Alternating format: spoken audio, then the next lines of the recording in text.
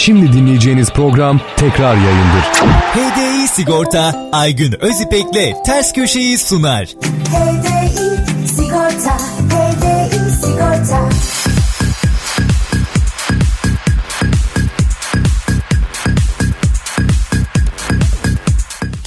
Radyo Spor'dan Ters Köşe programından herkese günaydın. Ben Aygün Özbek. Saatlerimiz 10.01'i gösteriyor. Yaklaşık 2 saat boyunca sizlerle beraber olacağız. Biliyorsunuz gündeme dair soru ve görüşleriniz için şu dakika itibariyle 0212 363 04 34 0212 363 04 34 numara telefonumuzun açık olduğunu söylemek istiyorum. Aygün Özbek Twitter, Aygün Özbek Instagram ve Radyo Spor'un da Twitter hesaplarından mesaj yazarsanız yayın içerisinde okuyacağım.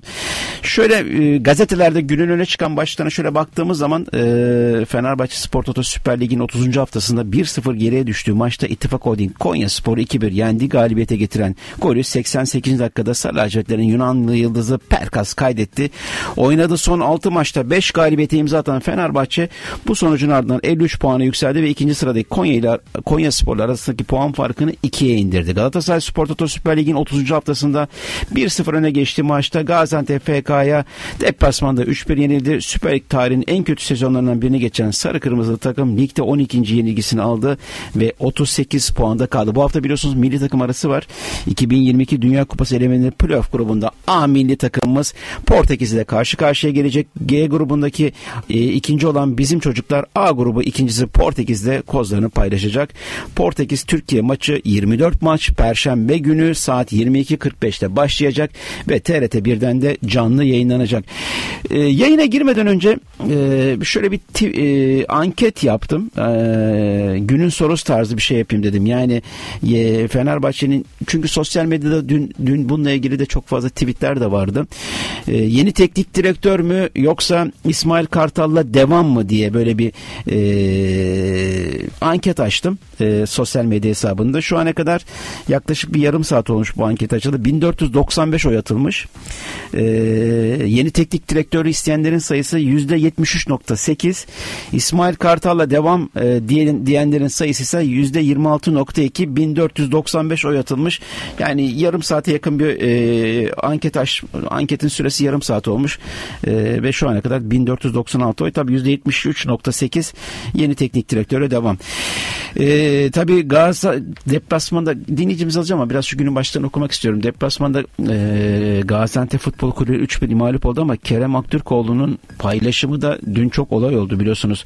Yapılan Kerem'e yapılan müdahalelere e, kart çıkma, çıkmaması sosyal medyada da tepkiye yol açtı. Futbolcu da e, maçtan sonra ayağının e, bir fotoğrafını sosyal medya hesabından paylaştı. Maç boyunca kasıtlı hareketlere maruz kalan milli futbolcu Kerem Aktürkoğlu'nun ayağının son durumu e, karşılığında kart yok şeklinde de hem Galatasaray Spor Kulübü bir paylaşımda bulundu hem de Kerem e, bu paylaşımda bulundu. Tabi e, Beşiktaş'ta da çok ilginç gelişmeler var. Neden öyle söylüyorum? E, Önder Karaveli istifa kararı verdi. E, biliyorsunuz Beşiktaş'ta yeni bir teknik direktörle yola devam etme kararı aldı. Valerian İsmail.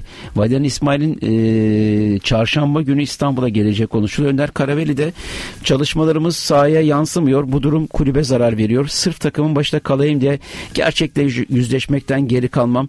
Vicdanen rahat değilim. Görevi devretmek istiyorum diyerek Başkan Çebi'ye e, Sayın Başkan Çebi'ye istifa mektubunu e, vermiş, e, sunmuş. Fanatik Gazetesi'nde Orhan Yıldırım'ın haberi. E, tabii bununla ilgili de son kararı son kararı tabii ki e, Beşiktaş Kulübü Başkanı verecek. E, Arda Turan'ın bir paylaşımları var. Çok konu başlığımız ama dinleyicimizi bir alayım ondan sonra devam edeyim istiyorum. Günaydın. Günaydın. Alo. Günaydın. Aygün merhaba. Kolay yayınlar. Teşekkürler. Kime görüşüyoruz? Mehmet ben Antalya'dan. Buyurun Mehmet Bey hoş geldiniz. Buyurun. Ee, ya sana bir şey sormak için aradım. Geçen hafta dikkatimi çekti de e, yayında söylediğim bir şey. Şimdi ara ara da bağlanıyorum. Ne birkaç ay, birkaç hafta birkaç hafta öncesine kadar e, şey diyordun. E, Torrent e, Galatasaray hocası olacak bir hoca değil diyordun. Ben öyle bir şey demedim. Hayır. Yanlış hatırlıyorsun. Ben Torrent'e şans verilmesi gerektiğini söylüyordum. Yani ben yani şahsen kendi bağlandığım bir yayından öyle hatırlıyorum. Yok. Ee, ben de Torrent'in Galatasaray hocası e, Galatasaray hoca olacak biri olduğunu düşünmüyorum. O sizin Bir düşünün. Ben öyle bir şey bana- söylemedim. Şöyle söyledim. Ben sadece e, torrente şans verilmesi gerektiğini söyledim buradaki Geçen yayınlarda. onu söyledim ama ben hani şahsen benle karşılıklı konuşurken öyle söylediğini hatırlıyorum. O yüzden Yok. bunu sormak aramıştım. Yok, Fikrini yok. değiştiren ne oldu demek için. Fikrimi bir şey aramıştım. değiştirmedi çünkü bu takımı torrent kurmadı dedim. E, hatırlarsan. E, ve e, kesinlikle şans alması gerektiğini, önümüzdeki sezon torrentin değerlendirilmesinin önümüzdeki sezon yapılması gerektiğini söyledim. Neden öyle söyledim? Çünkü önümüzdeki senenin e, transfer politikasını da e, torrent belirleyecek. Ondan sonraki dönem yani seneye torrenti değerlendirmemizin daha doğru olacağını söyledim. Belki yanlış Abi, anlaşılmış bir takımı olabilir. Kurma, bir takımı kurmamış olmak yani e, tamamen bir bahane midir? Ya şimdi ben bakıyorum e, ligde ne orta saha orta saha oyuncularıyla oynayan o takımlar var. Şimdi bu tamam bu takım kötü orta saha kötü de bu ligde hani sen hep mesela rakamlarla kıyaslıyordun. E, 15. sırada yani e, 17 puan fark olmuş ikinciyle. Fatih Terim bıraktığında 6'ymış fark. Şimdi 17 olmuş. Fatih yani. Terim bıraktı 12. takım 12. sıradaydı Galatasaray. 6. 12'di. sıradaydı. 12. Hayır sıradaydı. 12. sıradaydı ama şunu söylüyorum. Liderle zaten çok puan fark vardı ama ikinci ile arasında 6 puan fark vardı. Şu an 17 puan fark var. Yani geldikten sonra her hafta birer puan artmış fark baktığımızda. E tamam kadro kötü de Süper Lig'de, Süper Lig'de diyorum bak. Başka bir yerde demiyorum. Mücadele edilecek kadar da mı kötü? Bir etki yaparsın kötü oynadığın maçta Gomsi çıkar Mustafa'yı al değil de yani bir üçlüye dönersin. Ya bu takım e, zamanı geldi. Öncesinde biz gördük bunları. Defans oyuncusunu forvet atarak şampiyonluğa oynadı, şampiyonluğa oynadığı zamanlar oldu. Yani bir farklılık yaparsın ne bileyim e, Morutan'ı çıkar kanattan Babel'i kanata koy. Ya, Gomis duramıyorsa Babel'i forvete. Bir farklılık yap yani bir şey görelim bir çaba görelim. değişim Taktik yapıyorsun, fark- anladım, anladım, taktik anladım. farklılık. Yani hiç öyle Anladım. bir şey görmedim. O yüzden dedim senin fikrini değiştirdi diye ama Benim fikrim bir şey değiştirmedi. Orada bir yanlış anlaşılma olmuş demek ki. Ben şunu söyledim. Hala da aynı görüş içerisindeyim.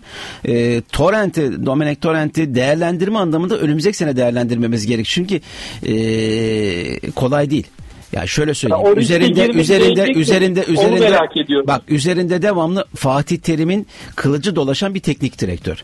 Seneye de olacak bu abi. Bu baskı hiçbir zaman gitmeyecek. Ama yani ama bu baskının Galatasaray taraftar arasında gitmesi gerekiyor. Ömür boyu o zaman Ya ama ömür boyu o zaman bu takıma bu takıma teknik direktör getirmeyeceksin. Hayır bu baskının gitmesi için performans vermen gerekiyor. Niye 2-3 hafta iyi gitti? 2-3 hafta e, kimse Nasıl konuştu mu? ben bakıyordum. E, E, Barcelona maçı maçları Beşiktaş maçları bunlar iyi gitmedi mi? Hangi maçlar pardon? Barcelona ilk maç. İlk maç. Ben o maçlarla alakalı şunu düşünüyorum abi. Ee, bu maçlarda hocanın etkisi olması için önce Konya Spor maçından sonra çıkıp bu takımı ben kurmadım. Ee, bu bana kaldı dememesi gerekiyordu. Takıma bir etki edebilmesi için, bir oyunu kabul ettirebilmesi için. Adam ama için. o kadar çok yüklenildi ki o da en sonunda patlama noktasına geldi. İşte ama sen takıma Bunu sadece bunu bunu bunu sadece sen- o e, Domenic Torrent kullanmıyor. Her hoca kullanıyor. Sonradan giden teknik direktörlerin çoğunun açıklamalara baktığında bu takım ben kurmadım. Bu takım ben sonradan geldim. Açıklamaları sadece Domenic Torrent yapmıyor ki. Ligde bir sürü buna bu tarz açıklama yapan daha sonra da gelen bir sürü teknik direktörler var. O zaman hiçbir farkında kalmıyor yani bu ligdeki hiçbir hocadan. E yani. E yani. Peki. Onu diyorum. Hiçbir farkında yok o zaman. Peki. Gidenden gelenden hiçbir farkın yok. Peki çok teşekkürler. Sağ ol görüşmek üzere. Evet 0212 363 04 34 numaralı telefonumuzun açık olduğunu söylemek istiyorum. Demin de devam ediyorduk e, konu başlıklarına çünkü Mehmet Bey'i çok bekletmeyeyim diye e, araya aldım. E, tabii Göztepe'de e, İzmir'de Göztepe'yle oynanan maç öncesi kadroda yer almayan Arda Turan e, eski teknik direktör Fatih Terim'le çekilmiş olan bir paylaşımda buluş, bulunmuş ve büyük tartışmalara sebep olmuştu.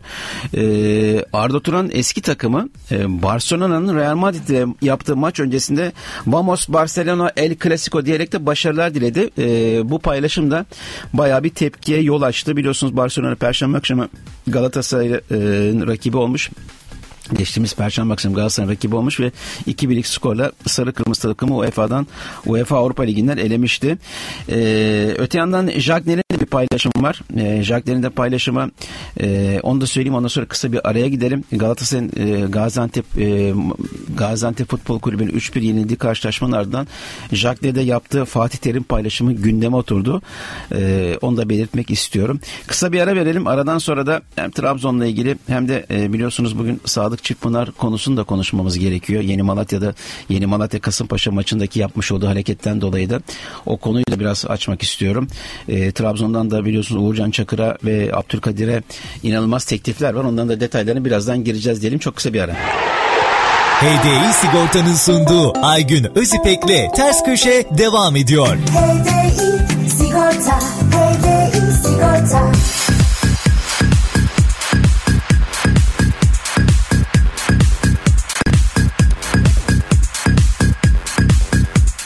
son dakika gelişmesi vereyim. Ee, biliyorsunuz dün Atilla Zalai e, biraz e, sıkıntılı bir sakatlık geçirdi ve e, ağlayarak da biraz sahanın dışına çıkmak zorunda kaldı.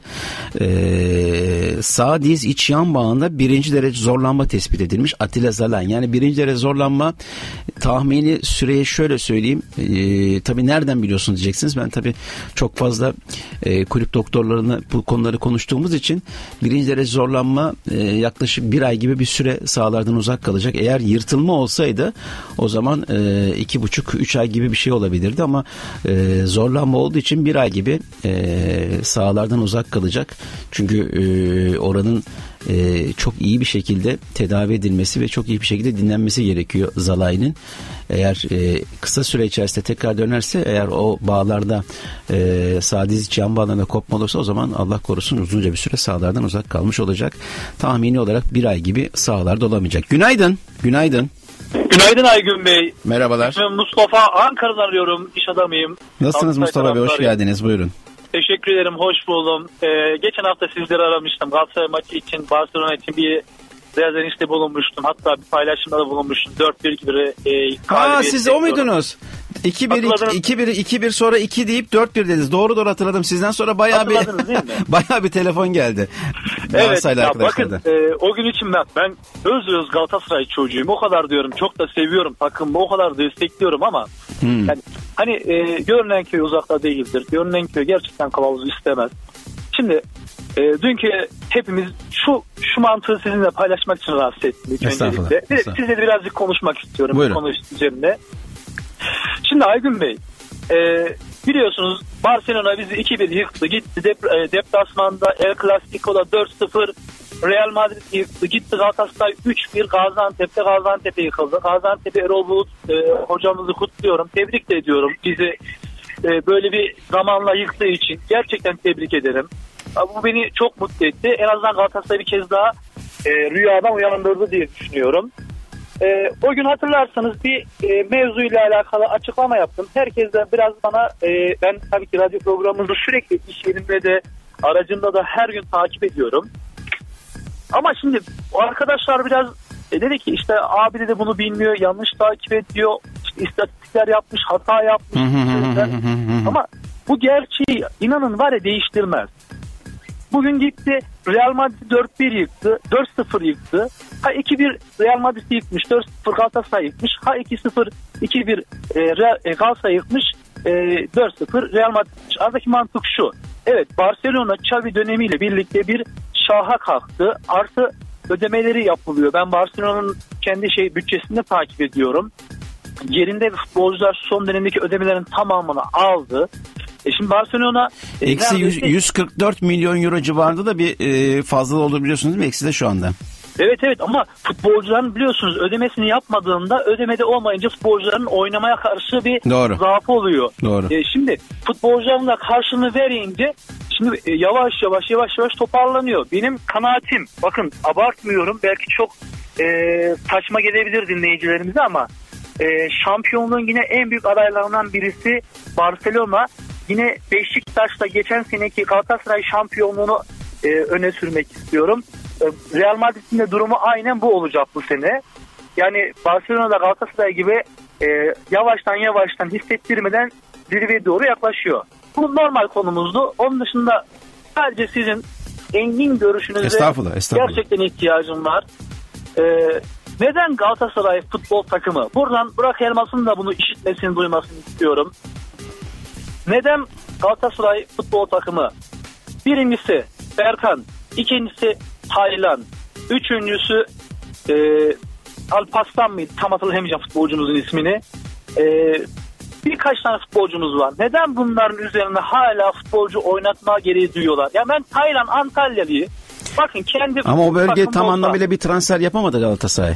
Evet evet doğru. Mesela dün Fenerbahçe maçını izliyorum. Çok güzel Fenerbahçe ikinci yarıda mükemmel bastırdı. Ya ben İsmail Kartal'ı gerçekten takdir ediyorum, tebrik ediyorum. Yılların deneyimi, duhayini, futbolcusu, kompendanı bu işin.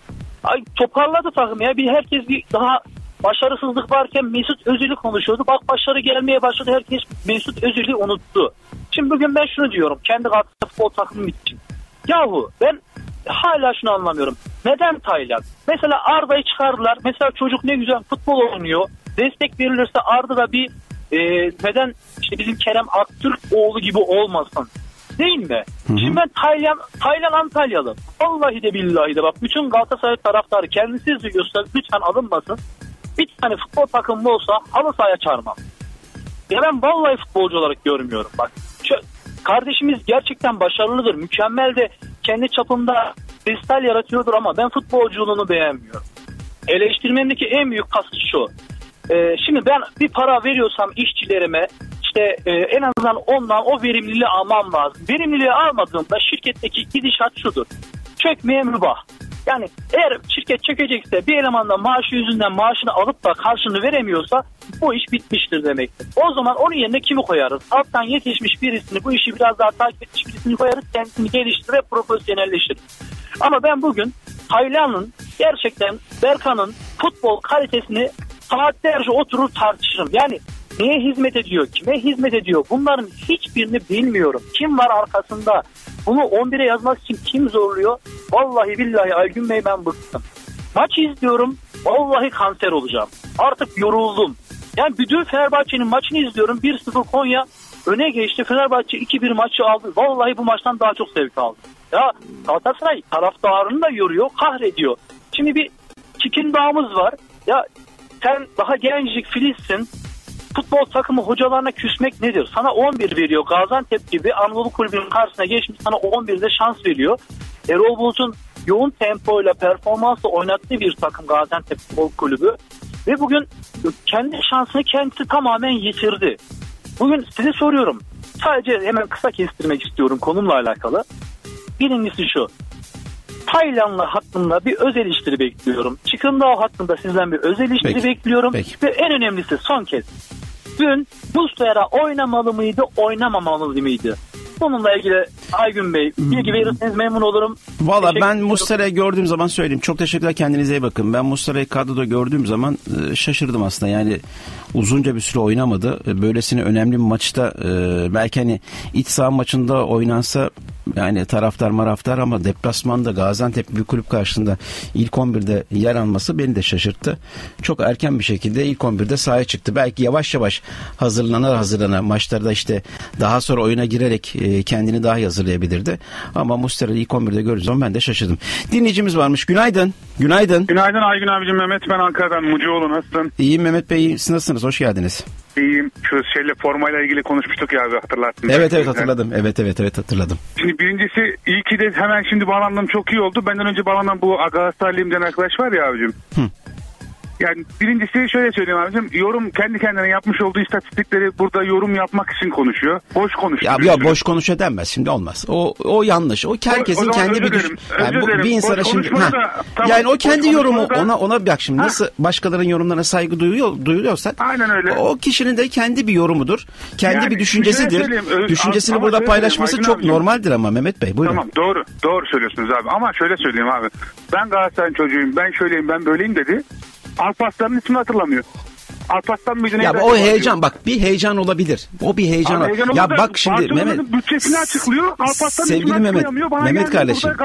Mehmet kardeşim bir şey söyleyeyim. Bazen ben bile e, bazen bir Fenerbahçeli futbolcunun ismini unutabiliyorum. O olabiliyor yani. Onları o kadar Ya abi, büyütmemek ben lazım. onu- yani ben ben 30 büyütüyorum da burada 32 o kadar senedir Fenerbahçe'yi takip eden biriyim. Bazen ben bile şu an kadrodan acaba o muydu, ismi neydi diye düşündüğüm oluyor olabiliyor yani. Onları şey yapma. O kadar takılma. Yok, Olabilir yani öyle şeyler. Bir takımı şeyi söylüyorum abicim bu biz yenilmeden yani biz Barcelona'ya yenilmeden önce de çıktı 4 atacağız dedi. 2'ye Ama söyledi zaten 2-1 2-1 ilk yarı 2-1 ikinci yarı 2-0 2 gol oldu. 4-1 biteceğini söyledi. 4-1 Doğru. dedi. Doğru. 2-1 yenildi ama şey demiyor ben bilemedim demiyor da biz bak gördünüz mü ben bildim yenileceğini falan diyor. Bence Orada sen burada sevgili. Mehmet sen burada kendi düşünceni boş ver söyle. Neyse, senin düşüncen önemli. Abi. Ben, evet Galatasaraylı olarak evet ben çok üzgünüm abi ama yine böyle ben şey düşünüyorum böyle bizde bir ateş var yine böyle bir ışık var bir türlü bunu çıkartamadık. Ben şey çok üzüldüm abi mesela Kerem'in ayağına basma pozisyonlarında bir kere bile kart Evet gösterememesi. orada o ben sana söyleyeyim maçtan sonraki maçtan fotoğrafları gördüm. gördünüz gördüm gördüm demin onu da söyledim. Paramparça adamına ya. Yani mahvetmişler şey yok. yani doğru. Bir buna takıldım bir de dün şeye takıldım abi hani bilmiyorum. Penaltı pozisyonu mu? Evet abi. Ya şöyle sana söyleyeyim bana e, çok şey geldi basit geldi. Ama şimdi şu kurallara baktığın zaman orada mesela futbolcu e, Antepli futbolcu topa vurup top dışarı çıksaydı penaltı değilmiş. Ama top oyun içinde kaldığından dolayı penaltı verilmiş. Aslında vurduğu an e, top farklı bir yöne gidiyor ondan sonra vuruyor. Ama e, baktığın zaman futbolcu zaten ah ben ne yaptım diyor Galatasaraylı futbolcu. Ya yani Yani ama çok basit bir penaltı ama maalesef oyun kuralları içerisine baktığın zaman penaltı verilmesi gereken bir şey ama bana göre basit. Açıkça sana söyleyeyim basit yani. Dün şey neydi abi mesela Fenerbahçe maçında e, Kim Min-jae'nin ikinci sarısı olması gerekmiyor muydu? Olabilirdi. O, olurdu, oldu. olurdu, olurdu. Orada itirazlardan atılabilirdi Kim Min-jae. Mesela o atılsaydı, atılsaydı zaten pozisyon gol olmayacaktı. O attı Bir golü. de tabii bir de şöyle söyleyeyim Kim Min-jae dün hakikaten sahanın ellerinden bir tanesiydi. Abi her yerde maşallah da. Ben Yani Galatasaraylıyım. Mesela benim pandemimde öyle bir oyuncu olmasını isterim. her takım ister. Evet, yani Kim Ya, Min-jae Barcelona hakikaten istemez çok ya. farklı bir- Barcelona istemez. Çok farklı bir futbolcu Kim Min-jae. Barcelona istemezdi. tabii. Belli olmaz bu işler. Peki. Peki teşekkürler. Kolay Teşekkür gelsin. Evet. eee, dünkü maçta eee, bir dakika bir dakika bir dakika. Tabii dün o kadar çok mesaj gelmiş ki. Eee, Erkan Demir demiş ki kaç hafta oynamayacak? Yani tahminen bir ay gibi eee eee, Atilla Zalay'ın sakatlığından doğan süre bir ay gibi gözüküyor. Eee, zaten şu an bir milli takım arası var. O, o dönemde bir 10 gün 15 gün atlattığını düşünürsen ya iki hafta oynamayacak gibi gözüküyor. Hatta bir dinleyicimiz var. Günaydın. Günaydın, hayırlı yayınlar Aygün Bey. Teşekkürler. Ee, Ben Belediyem İstanbul'da arıyorum. Fenerbahçe taraftarıyım Aygün Bey. Buyurun Beren Bey hoş geldiniz. Ee, hoş bulduk, teşekkür ederim Aygün Bey. Aygün Bey ben öncelikle şunu söyleyeyim. Ee, dün mesela Altay'a yapılan e, e, Konya'nın attığı e, birinci golün acaba Faul yok. faul olup olmadığını Yok yok foul yok orada. faul orada yok. Yok. Bir de Aygün Bey e, İrfan Can'a yapılan bir pozisyon var, bir müdahale var. E, o pozisyon, o iki pozisyonu merak ettim ben Aygün Bey. Altay yapılan da e, şey yok. Hatta zaten Altay eliyle fark ediyorsan eliyle içeri biraz daha tam ayarlayamadı orada. E, kendi eliyle biraz içeri doğru götürüp futbolcu tamamladı. E, İrfan Can'ın hangi pozisyon diyorsun? Bu normal penaltı olması gereken pozisyon Aygün Bey. E, ceza alanında düşürülüyor ya. Hı hı hı hı. E, ben e, şimdi demin Deniz Çoban'ı okudum ben o konuyla ilgili. Benim de bir yorumum vardı. Deniz Hoca'nın tabii e, İrfan Can'ı sağ koluyla çekerek topa gitmesini önledi futbolcu diyor. Bence bu pozisyon Evet. penaltı verilmesi doğru olurdu diyor. Bence E, doğru. bence de bence de verilebilirdi o pozisyona penaltı. Verilirdi Bey, yani. Verilseydi de kimse itiraz etmezdi o anlamda söylüyorum. Hı hı. Evet. E, şöyle söyleyeyim Aygün Bey. E, Fenerbahçe'nin gerçekten oynadığı oyunu gösterdiği e, mücadeleyi hepsinin e, ellerine sağlık. Hepsinin yüreğine sağlık. Yani e, inanın 4-5 haftadır böyle şahsen mest oluyorum Aygün Bey. Peki. İsmail hocamıza da gerçekten çok çok teşekkür ediyoruz. Futbolcuların hepsinin yüreğine sağlık Aygün Bey. Peki. Böyle oynasınlar Aygün Bey. Yenilsin hiç önemli değil. Yeter ki bu şekil oynasınlar. E, bir de bir şey söyleyeceğim Buyurun efendim. Aygün Bey. Buyurun, buyurun Beren Bey. Devre arasında Aygün Bey. E, Sezon Arda sonunda. Güler'e, e, devre arasında. Ha. Arda Güler'e e, işte e, e, Arda Güler diye tezahürat yapılıyor. Ben Fenerbahçeli e, taraftar arkadaşlarımızdan, kardeşlerimizden şunu tavsiye ediyorum. Sahada savaşan 11 tane futbolcu var. E, hepsi de Fenerbahçe için savaşıyor. Bence e, orada evet Arda Güler bizim canımız ciğerimiz ama o sahada yüreğini ortaya koyan futbolculara da bence biraz e, şey olmuş saygı e, haksızlık olmuş oluyor Aygün Bey. Doğru. E, nihayet ben öyle düşünüyorum Aygün Bey. Doğru, peki. Bilmiyorum. Doğru. Çok teşekkür çok teşekkür ederim Sağ olun Beren Bey. Bey. Kendinize bakın. Ay- Saygı bizden sağ olun. Şimdi tabii e, Tonlay Kafkas'la ilgili çok fazla Tonlay Kafkas Hoca ile ilgili çok fazla yorum yapmak istemiyorum. E, yorum yaptığım zaman hep benim gözümün önünde e, bir sahne çıkıyor. E, Tonlay Hoca ile ilgili. E, hoş olmayan bir sahne. Bir gazetecinin bir soru sorduğu bir soruyu ayağa kalkıp sanki gazeteciye saldıracak gibi sanki ona e, vuracak tarzı bir görüntüsü vardı. Hatta ayağa kalkmaya çalışıyor. Yanındaki e, e, kulüpten yetkili durduruyor falan filan. Şimdi tabii bu kadro açıklandığı zaman e, Mehmet M söylemiş. Bunu da Emirhan ve Arda Ümit milli takıma seviyesine değil mi diye e, niye çağrılmadı diye. Tonlay Hoca'yı ben e, çok ilginç bir şekilde Tonlay Kafkas'ın yani mesela A milli takımda o kadar değişiklik oldu oluyor görüyor işte o gidiyor bu geliyor o gidiyor bu geliyor ama Tonlay Hoca hep orada. Demek ki çok başarılı ki orada. E, Stefan Kunz da geldiği zaman altyapılara kadar bir sürü şeylerde de e, değişim yapacağız dedi ama maalesef Tonlay Hoca hala devam ediyor. Demek ki Tonlay Hoca çok başarılı buluyor Türkiye Futbol Federasyonu yetkilileri ki orada kalmaya, orada oturmaya devam ediyor ama bence ben bir spor sever olarak söylüyorum. Tonlay Kafkas hoca e, bence çok başarılı değil. Sonuçlar ortada zaten Ümit Milli Takımı sonuçları ortada. Günaydın. Günaydın Ergün abi. Merhabalar. Merhaba ben Yaşar İstanbul'dan Beylikdüzü'nden arıyorum da. Buyurun Yaşar Bey hoş geldiniz. Ee, ben hoş bulduk. Beşiktaş taraftarıyım ama ben Mesut Özil'e teşekkür etmek için aradım. Hayırdır? Ya şöyle bir şey Mesut sağ olsun ondan Allah razı olsun. İki senedir iddiaya giriyorum. İki senedir kazanıyorum. Mesut sayesinde. Yani belki Fenerbahçeliler üzülüyor ama ama bana bayağı kazancı oldu Mesut'un yani. Ne yani, alaka? Yani şöyle bir şey. Ben mesela geçen sezon arkadaşlarla iddiaya girdik biz. İşte Mesut toplamda 15 istatistik yakalayabilir mi diye gol asist anlamında. Ha, o anlamda diyorsun. Ha, ben Peki. ondan kazandım. Peki. Bu sene de Peki. kazandım. Peki. Allah ondan razı olsun. Peki çok teşekkürler kendine çok iyi Rica bak. ederim, Sağ sağ ol. Kolay gelsin. Sağ ol. Kısa bir ara verelim. Aradan sonra da telefon almaya devam edeceğiz. 11'den sonra da programın ikinci bölümüne geçeceğimizi söyleyelim. Çok kısa bir ara. HDI Sigorta'nın sunduğu Aygün Özipek'le Ters Köşe devam ediyor. HDI Sigorta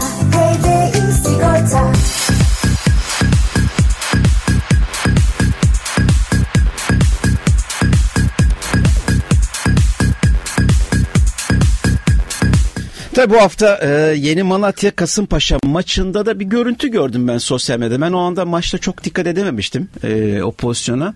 E, yani bir hareket olduğunu gördüm ama tabii ne olduğunu tam anlayamadım. E, daha sonra tribünden çekilen bir görüntü sosyal medyada çok fazla e, görünmeye başladı. E, Sadık'ın yapmış olduğu bir hareket hiç hoş bir hareket değil net söyleyeyim. Sadık Çiftpınar'ın yani tribünlerden tepki gelebilir. Ee, evet o hoş olmayan bazen küfürler falan oluyor ama dönüp de tribünler o hareketi yapmayacaksın. Orada çoluk çocuk var orada insanların eşleri orada aileleriyle gelenler var. Ee, her halükarda e, o hareketi yapmayacaksın. Ha, tepki görüyorsan da daha önce biliyorsun kaleci Volkan e, milli maçta kendisi çok fazla eşine, çoluğuna, çocuğuna küfür edince sağdan çıkmıştı. O hareketi yapmayıp sağdan çıksan belki çok daha farklı şey konuşulabilirdi. Bugün kadro dışı kaldın. Açıklamasına baktım. Ee, Sadık'ın Sadık'ın açıklaması yaptığı hareketten daha berbat daha kötü bir açıklama yapmış. O açıklamaya birazdan geçeceğim. Ee, tabii öte yandan da hakikaten Trabzon'da bu sene e, Abdülkadir inanılmaz bir performans sergiliyor. E, onun ağlarkenki bir görüntüsü vardı. E, o anda ona o tepki gösterenler acaba şimdi ne düşünüyorlar diye çok merak ediyorum. Uğurcan Çakır ve Abdülkadir'e de e, Yıldız iki futbolcuya da hakikaten çok ciddi teklifler var. E, Marsilya başta olmak üzere, Leeds United başta olmak üzere e, özellikle Uğurcan için Leeds United'ın e, Marsilya'nın da Abdülkadir için e, devrede olduğu konuşuluyor. Dinleyicimizi alalım. Bu e, Sadık kısmındaki açıklamasında birazdan geçeceğim. Onu da tekrar belirteyim. Günaydın. Alo. Alo. Tahmin ediyorum hattan düştü. Sadık'ın yapmış olduğu açıklama şöyle. E, bu daha önce biliyorsunuz bu aynı tarz hareketi biliyorsunuz e, Pascal Noma yapmıştı Fenerbahçe maçından sonra. E, işte sonra seyirciye dönerek bir protestoda bulunmuştu. Ee, Saad'ın açıklaması 2014-2015 sezonunda formasını giydim. Süper Lig'de yükseliş mücadelesi onurla yer aldım. Yeni Malatya formasıyla dün hayatımın en kötü gününü yaşadım. Buraya kadar güzel. 7 aydır maaş almadan şu anda detaylandıramayacağım imkansızlara rağmen varımı yoğumu takımı için ortaya koyan koydum. Koşular ne olursa olsun maddi manevi fedakarlıklar yaptım. Sakat olduğu birçok dönemde bile ağrıları ve sağlığı riske atarak sahada olup biten. Yani burada e, tamam Malatya'nın durumu kötü olabilir ama 7 aydır maaş almadık, almıyoruz. E, yok efendim e, cümlelerini koyması bence yanlış. Bu e, o hareketin arkasına sığmayacaksın. Maaş almamanın o yap o hareketi yapmana bir, engel e, şey olmaması lazım. Yani ben maaş almıyorum çıkayım o zaman bütün o, çoğu takım maaş almıyor. Çoğu takımlarda futbolcu maaşları 5 ay, 6 ay, 7 ay geriden giden çok takım var. E, büyük takımlarda da öyle 2-3 ay geriden giden bir sürü takım sayarım ben. Gününde ödeyen takım sayısı çoktur, nadirdir. Birkaç tanedir. Yani şu an 20 takımlı Süper Ligimizde veya bir alt liglerde gününde maaş alan takımlar mı var zannediyorsunuz? Ayın birinde paraları mı yattı zannediyorsunuz? Birinde kiminde 10-15 gün önceden, kiminden e, 10-15 gün sonra, kiminden 2 ay sonra, kiminden 3 ay sonra, kiminden 4-5 ay sonra bile maaş alan takımlar, e, takım futbolcuları var ama çıkıp da hiçbir bu hareketleri yapmıyorlar. Günaydın. Günaydın. Günaydın Aygün Bey. Merhabalar. Günaydın. Aydın'dan Ömer ben. Ee, Hoş geldiniz Ömer Bey. hoş bulduk. Nasılsınız? Çok teşekkürler. iyi misiniz? Nasılsınız? İyi sağ olun. Çok uzun zamandan beri bağlanmaya çalışıyorum ama şu Behram Bey kadar başarılı olamıyorum. Valla Behram Bey'in bir taktiği var demek. Behram Yani Bey'in bir tak- taktiği var herhalde. Şimdi bazen bana Ya- yolda da soruyorlar. Ya bazı isimler var nasıl düşüyor siz mi arıyorsunuz? Gerçekten biz aramıyoruz. ya muhakkak tabii ki aramıyorsunuz ama sırrını açıklasın da biz de bağlanıyoruz. Bazen inanın 60-70'ten sonra bırakıyorum artık. Yani sinirleniyorum. Bana Bazen resimler yolda- geliyor Ö- Ömer Bey bana fotoğraf atıyorlar insanlar. Hakikaten helal Evet. olsun onlara da. Yani e, 100 150 200 inanılır gibi değil yani. Resmen fotoğraf atıyor. Arama şeylerini gösteriyor. Buyurun, buyurun Ömer Bey. Doğrudur doğrudur. Ee, öncelikle Fenerbahçe'yi tebrik etmek istiyorum. Ee, Konya Spor karşısında gerçekten bir mücadele örneği verdiler. Final maçıydı ben öyle diyorum. Final maçıydı. Final kaybeden maçıydı, kaybeden kaybeden e, Evet. büyük ihtimalle ikincilikte e, büyük yara alacaktı. Özellikle Fenerbahçe açısından. Evet, Aynen. evet. Kaybederdi. Fenerbahçe ikinciliği çok kolay kaybederdi ve büyük bir yani bir çöküntü olmazdı. Belki de bir büyük moral bozukluğu da olabilirdi. E, tabii. Ama şu anda büyük bir ivme kazandılar. Yani e, İsmail Hoca da e, ben yine tebrik ediyorum. İsmail Hoca o kurşunlanma hadisesinden Trabzonlar onu hiç unutmasınlar. Biz hiç unutmuyoruz çünkü. E, İsmail Hoca o zamanki takımdaki çoğu oyuncular gitmek istemişti. E, o takım moralmen bozulmuştu ve şampiyonluktan da olduyduk o sene. E şimdi de e, hiç değilse ikinciliği var alalım da e, bir, bir anlamda Avrupa kupalarına çok rahat gidelim. Belki de Şampiyonlar Ligi'ne gitme olasılığımız da olabilir. Tabii. Önemli maçların Şimdi sonra neden? doğru. Hı hı. E, Rus takımları e, alınmayacak herhalde. Evet doğru. Haliyle belki bir kontenjan çıkabilir oradan. Onun için e, takımı desteklemeye devam. Ben 60 yaşındayım. Maşallah. E, Vallahi sesiniz yemin ediyorum 40-45 gibi geldi. Çok teşekkür ediyorum Aygün Bey. İnşallah Allah Rabbim sizlere de o yaşları göstersin. Cümlemize. Torunlarınızı göstermeyi de Amin inşallah, inşallah. Bir tane torunum var. Maşallah, Allah onlarla bağışlasın. da çok iyi vakit geçiriyorum ama çalışmaya da devam ediyorum. Ben uzun yol kaptanıyım. Oo, Ee, Allah yardımcınız olsun. Amin. Tır şoförüyüm. Allah Ee, herkese öncelikle vakitlerini aldığım için bütün e, dinleyicilerden özür diliyorum. Haklarını helal etsinler. Helal olsun, Ee, olur mu de şey? çok başarılı Sağ olun. için çok takip ediyorum. Teşekkürler. Ee, iyi günler diliyorum. Kolay gelsin. Çok sağ olun iyi günler. Çok mersi. Kendinize çok iyi bakın. Özellikle yollarda da çok dikkat edin. Yaşar Bey'e sevgilerimiz, saygılarımızı iletelim Aydın'a da. Tabii şimdi eee, hoş bir görüntü değildi. Gene aynı konuya döneceğim. Çünkü yarım kalmıştık o sırada telefon aldık. Hoş bir görüntü değildi. Açıklamaları da zaten hoşuma gitti. Niye 7 aydır maaş almıyoruz. İşte eee, şöyleydi böyleydi. İşte yabancı futbolcular e, maaş almak için FIFA'ya gidecekler de ben onları engelledim falan filan. Bunlara gerek yok. Yani sevgili Sadık kardeşim bunların hiç açıklamana gerek yok. Sosyal medyaya bununla ilgili doldurmayacaksın. Ben Fenerbahçe'de oynarken ee, Sadık Fenerbahçe'de oynarken ben değil tabii çok özür dilerim ben Fenerbahçe'de oynamadım. Keşke oynasaymışım. Hepimizin gönlünde sevdiği takımda oynamak vardır. Ben Fenerbahçe muhabiriyken burada e, bir tweet attım Sadık'la ilgili. Şunu söyledim. Tweetim çok basit ya. Fenerbahçe futbol e, takımının kadrosunda olmaması gereken bir isim dedim. Açık ve net söylüyorum. Yani eğer e, ve mutlak surette devralınsa gönderilmesi gerekir dedim. Cümlem aynen bu. Fenerbahçe futbol takımı kadrosu olmaması gereken bir isim. Hakikaten oyunda futbolla e, yapmış olduğu hareketlerle çok riskli hareketler yapıyor bulunduğu bölge itibariyle. Yani yanında çok koşuyor ama mücadele yok, müdahale yok. Yani futbolcuyu kaleye kadar takip ediyor. E, rakip futbolcu gol atıyor. E, şey e, Sadık yanında koşuyor. Bu cümlemi söyledim. Altına benle dalga geçen bir tweet attı. Ondan sonra e, Fenerbahçe taraftarı o gazla beraber bana yüklendiler. Bir kısmı e, yanımda oldu. Bir kı- büyük bir kısmı da bana yüklendi. Devre arasında gitti ama Sadık. Sadık devre arasına gitti. Şimdi buraya geliyoruz. Burada o hareketi yapmayacaksın. Yani vallahi açıkça söyleyeyim eee, yeni Malatya eee yönetimde tebrik etmemiz lazım. Çünkü o hareket güzel bir hareket değil. Ne olursa olsun ne olursa olsun futbolcu o hareketi tribünlere yapmaz. Aynısını Pascal Nohma yapmıştı. Eee aynı şekilde aynı hareket. Şimdi harekette söylemek istemiyorum. Hoş bir hareket değil. Günaydın. Günaydın. Selamünaleyküm. Aleykümselam. Hacım Bey kolay gelsin. İsmail Bey size ulaşamıyorum İsmail Bey. Bakın nasıl hem Numara, ses... numara, numara yazdım sana ama E, yanlış numara. Yok ya bir daha yazarım ben sana. Zahmet olmazsa. Buyurun İsmail Bey. Ee, şimdi az Nasıl sesten tanıyorum ya. Sesten Aynen, tanıyorum artık insanları. Benden Buyurun. önce bağlanan arkadaş şunu diyeyim. Ee, bir şey söyledi Trabzonlular adına da cevap vermek zorunda. Ee, şöyle söyleyeyim ben cevap vermenize gerek yok. Zaten onun ne olduğunu herkes biliyor. O bir o yapının bir organizasyonuydu. Trabzon. Trabzon hayır Rize Trabzon arası Trabzon'a yakın bir yerde olduğundan dolayı öyle şey yapmaya çalıştı. Şunu söyleyeyim İsmail Bey. Ee, o hangi yapının olduğunu zaten herkes biliyor. Neden de yapıldığını ne oluyor? Varsel'in isim versin biz de e, takip edelim. Tabii tabii buyurun buyurun Hayır. İsmail Bey Ha. buyurun. Şimdi e, onu öyle geçişelim. Evet. Ee, şimdi e, pazar günü maçı cumartesi maçı izledim mi bilmiyorum da cuma günü. Hı hı. İki penaltı tamam. Üçüncü penaltı öncesinde faulü o hemen hakemin gözünün önünde olan bir faulü nasıl görmez de e, kalecinin e, kaleciye takılan bir adamı görür ben bunu çok merak ettim. Yani ben e, pozisyonlara baktım. Yani 3 3 hakem yorumcularını dinledim. Yani 3 penaltının 3'ünde doğru olduğunu söylediler açık söyleyeyim. Ama şimdi tamam penaltı e, penaltı ama penaltı öncesi net yani öyle sence bendesi uyan oynat bu yana oynat değil net penaltı şey faul var. Hmm, Bunu görmeyen bir hakem nasıl ciddi penaltıyı veriyor ben bunu merak ettim. anladım. Yani bu e, yani hiç olmayacak bir şey. Penaltı tamam penaltıya ben bir şey dedim yok. Hakem yorumlu penaltı görmüştür vermiştir ama Hı hı. onun öncesi net şekilde bir faul var. Şimdi orada e, Yusuf e, kafa çıkıyor topa. Adam geliyor gambura yatıyor altında. Ve orada top kaptırılıyor bir gidiyor penaltı oluyor.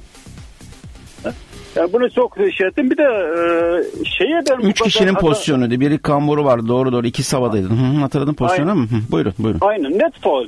İkincisi e, şeye Ercan'ın yani bu kadar hata Yani şöyle söyleyeyim, şöyle söyleyeyim. İyice açtınız o konuyu. Uğurcan giderse Trabzon Ercel'e zor. Zor. Net söyleyeyim Zor. ama Erce'yi ben çok severim. Erce iyi bir iyi bir kaleci olacak ileride ama görüntü iyi bir görüntü değil. Değil.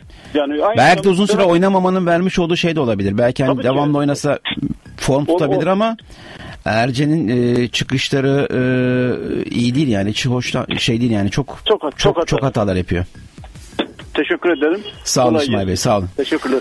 Evet dediğim gibi Uğurcan eğer giderse e, Trabzon'un özellikle Trabzon'dan bağlanan Trabzon yazarı arkadaşlar ve Trabzon taraftarları da aynı şeyi söylerdi. Yani e, işte Trabzon'un kaleci anlamında kadrosunun çok iyi olduğunu söylerlerdi ama Erce ya belki uzun bir süre oynamamış da olabilir e, veya kafasında farklı bir şey var anlayamadım veya golü yedikten sonra penaltı yedikten sonra e, kendini toparlamamış olabilir. Aynı noktaya 3 tane penaltı aynı köşeye atıldı.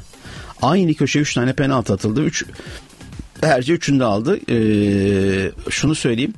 Ee, yani Uğurcan giderse mutlak suretle e, sıkıntı yaşayabilirler o, o noktada. Şampiyonlar Ligi'nde oynayacak çünkü Trabzonspor ama gelen bilgiler de sezon sonunda sanki Uğurcan'ın gideceği yönünde. Eğer giderse de büyük sıkıntı yaşar Trabzon. Günaydın. Günaydın kolay gelsin. Teşekkürler. Ee, Galatasaray taraftarıyım da. Buyurun. Ee, ya geçen hafta yani şu iki haftadan beri e, Galatasaray çok iyi diyoruz. Yani herkes diyor. Hani yorumcular hem büyük değişiyor. Ama, mesela- günlük yaşadığımız için bugünü Günlük farklı. Bugün, bugün tane gönderelim gitsin oldu yine adam. Yani nasıl olacak.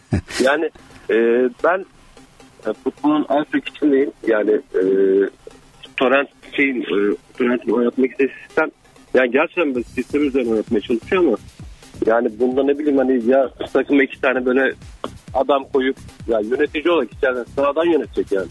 Bir Galatasaray sahadan mesela önce bir Melo vardı. Schneider vardı. Bunlar bir şekilde yönetiyordu.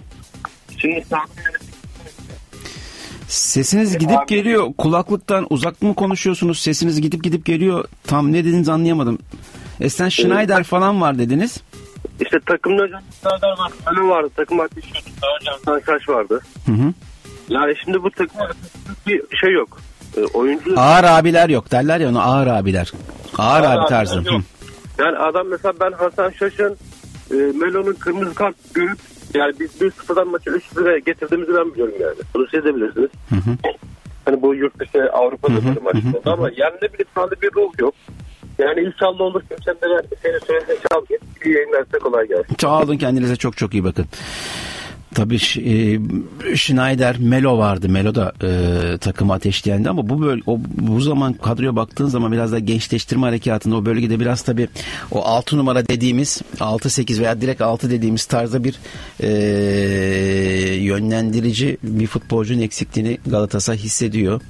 E, Berkan ve Taylan'ın e, bazen zaman zaman çok iyi performans zaman zaman büyük kısımda da kötü performansları da bütün e, takımı taraftarını taraftarında tepki toplanmasına neden oluyor. Yavaş yavaş da mesajlara döneyim. Instagram'a dönelim. Twitter'a da birazdan geçeceğimi söyleyelim. Instagram'da da çok fazla mesaj var. Eee Murat Çapar demiş ki abi yayınlar demek ki Behram abi bir tek ben takılmıyormuşum demiş. Ümit Hamza iyi yayınlar abicim. Konya'dan bağlanan arkadaş bir analizci edasıyla bağlanıyor. Saatlerce analiz, e, analiz yapacak mı gibi davranıyor. Yakında yine bağlanmanı da bekleyecek. Ama ama yapma dinlerken tek sıkılan ben değilim demiş Ümit Hamza. Günaydın. Alo. Günaydın. Günaydın. Alo gitmiş. Yasin Nacak. Merhaba abi. Berkan'la Taylan bu sene ne e, oynadı da milli takıma seçildi. Mert Hakan İrfan neden seçilmedi demiş Yasin Nacak. Bunun sorularının cevabını verecek olan kişi teknik direktörler. Yani hem Stefan Kunz hem Tolunay Kafkas bunların cevaplarını onlar verecekler. Ee, ve bunlar da sorulması gereken sorular. Ama tabii her milli takım e, kadrosu açıklandığı zaman e, genel anlamda bu tarz e, tartışmalar yapılıyor. Ama ben mesela e, açık söyleyeyim Arda Güler'i bekliyordum. Yani e, net bir şekilde söyleyeyim. Çünkü açıklamalara baktığın zaman Stefan Kuntz'un açıklamasına baktığın zaman Tolunay Kafkas'ın açıklamalarına baktığın zaman Arda Güler'le ilgili cümlelerine baktığın zaman ben bekliyordum. Ee, İnan Kutu evet Kerem'e dün iki foul yapıldı. Evet sert fauller oldu ama 3 hafta önce Gesson'a da Gesson'a daha ağır fauller yapılırken e, yapıldı. Doğru söylüyor. Gesson Fernandes o gün 12 veya 12 kez galiba 12 kez e, faulle karşı karşıya kaldı. Onda da aynı hareketler yapıldı. E, onu da belirtelim. Tabi burada hakemlerin devreye girmesi lazım. Hakemlerin müdahale etmesi gerekiyor. Günaydın. Aygün Bey merhaba. Merhabalar. Bülent benim adım. Şu anda Çorum'dan Samsun'a doğru gidiyorum. Yoldayım. Oo, Allah yardımcınız olsun. Size. Çorum'dan leblebileri aldınız. Leblebileri aldınız. Samsun'a yiye yiye gidiyor musunuz şu anda? Henüz değil inşallah yapacağım. Siz nasılsınız iyi misiniz? Sağ olun. Samsun'da da mutlak surette bir pide yiyin. Buyurun buyurun. Okey. Şimdi e, ben de Fenerbahçeliyim. Dün de e, bir şansım oldu. E, canlı izledim e, Fenerbahçe'yi. Hmm. Şimdi e, İsmail Hoca maç öncesi e, röportaj yaparken de o bölgede olum, olma fırsatı da yakaladım bir şekilde. Orada hep böyle Barış Bey'in e, sabahki ekibin tenkitlerinden uzaklaşmış olduğunu gördüm. Çünkü biraz biz diye konuştu, ben ve ekibim diye konuştu. Hı. Orada direkt sizin sabah ekibini hatırladım. Ben benden uzaklaşıp biz biz demeye başlamıştı. O güzeldi. Ee, onun dışında tabii İsmail Hoca'nın e, oynatmaya çalıştığı futbolu anlayabiliyoruz ama çıplak gözle bakıldığında gerçekten Mesut'a Mesut'un biraz daha e, inisiyatif alması gerektiğini düşünüyorum. Az önceki arkadaş aradı ya e, bir abi olayından bahsetti. Ben beri aslında tam yapması gereken görev ama çok da yaptığını göremedik onu. Ben çok isterdim Mesut'un bir abi olarak biraz daha böyle hırsını göstermesini, biraz daha diş dişli olmasını çok isterdim ama Mesut'u canlı izleyince biraz böyle kaçak oynadığını hissediyorum. O da beni üzüyor. Onu söylemek Çok fazla istiyorum. riske girmiyor doğru. Hı hı. Evet, evet. Yani böyle e, top e, top is- istemiyor bile yani. Topu pası veriyor. E, daha çok yan paslarla, geriye doğru paslarla oynadığını gördüm. Çok böyle riske girip ara pas atmadı. Kaç topunda da onu anlayamadılar. Arkadaşlar. Çok güzel pas attı ama ters top. İnanılmaz ya bir evet onu an, topuk pas anlayamadılar. Hı hı. Tabii orada şeydi galiba şu e, Rossi'ydi galiba. Rossi'ydi, verdiği pası. Onun dışında bazı arkadaşlar ve siz de söylediniz şeyden bahsetti. E, Torrent'in takımı değil bu. Ama aslında ben ona katılmıyorum. E, ligde kaç tane teknik direktör değişmedi şu ana kadar? Ona baktığımız Volkan sonra Volkan Demirel Hoca sonradan geldi. Emre Belözoğlu sonradan geldi. Bobby sonradan geldi.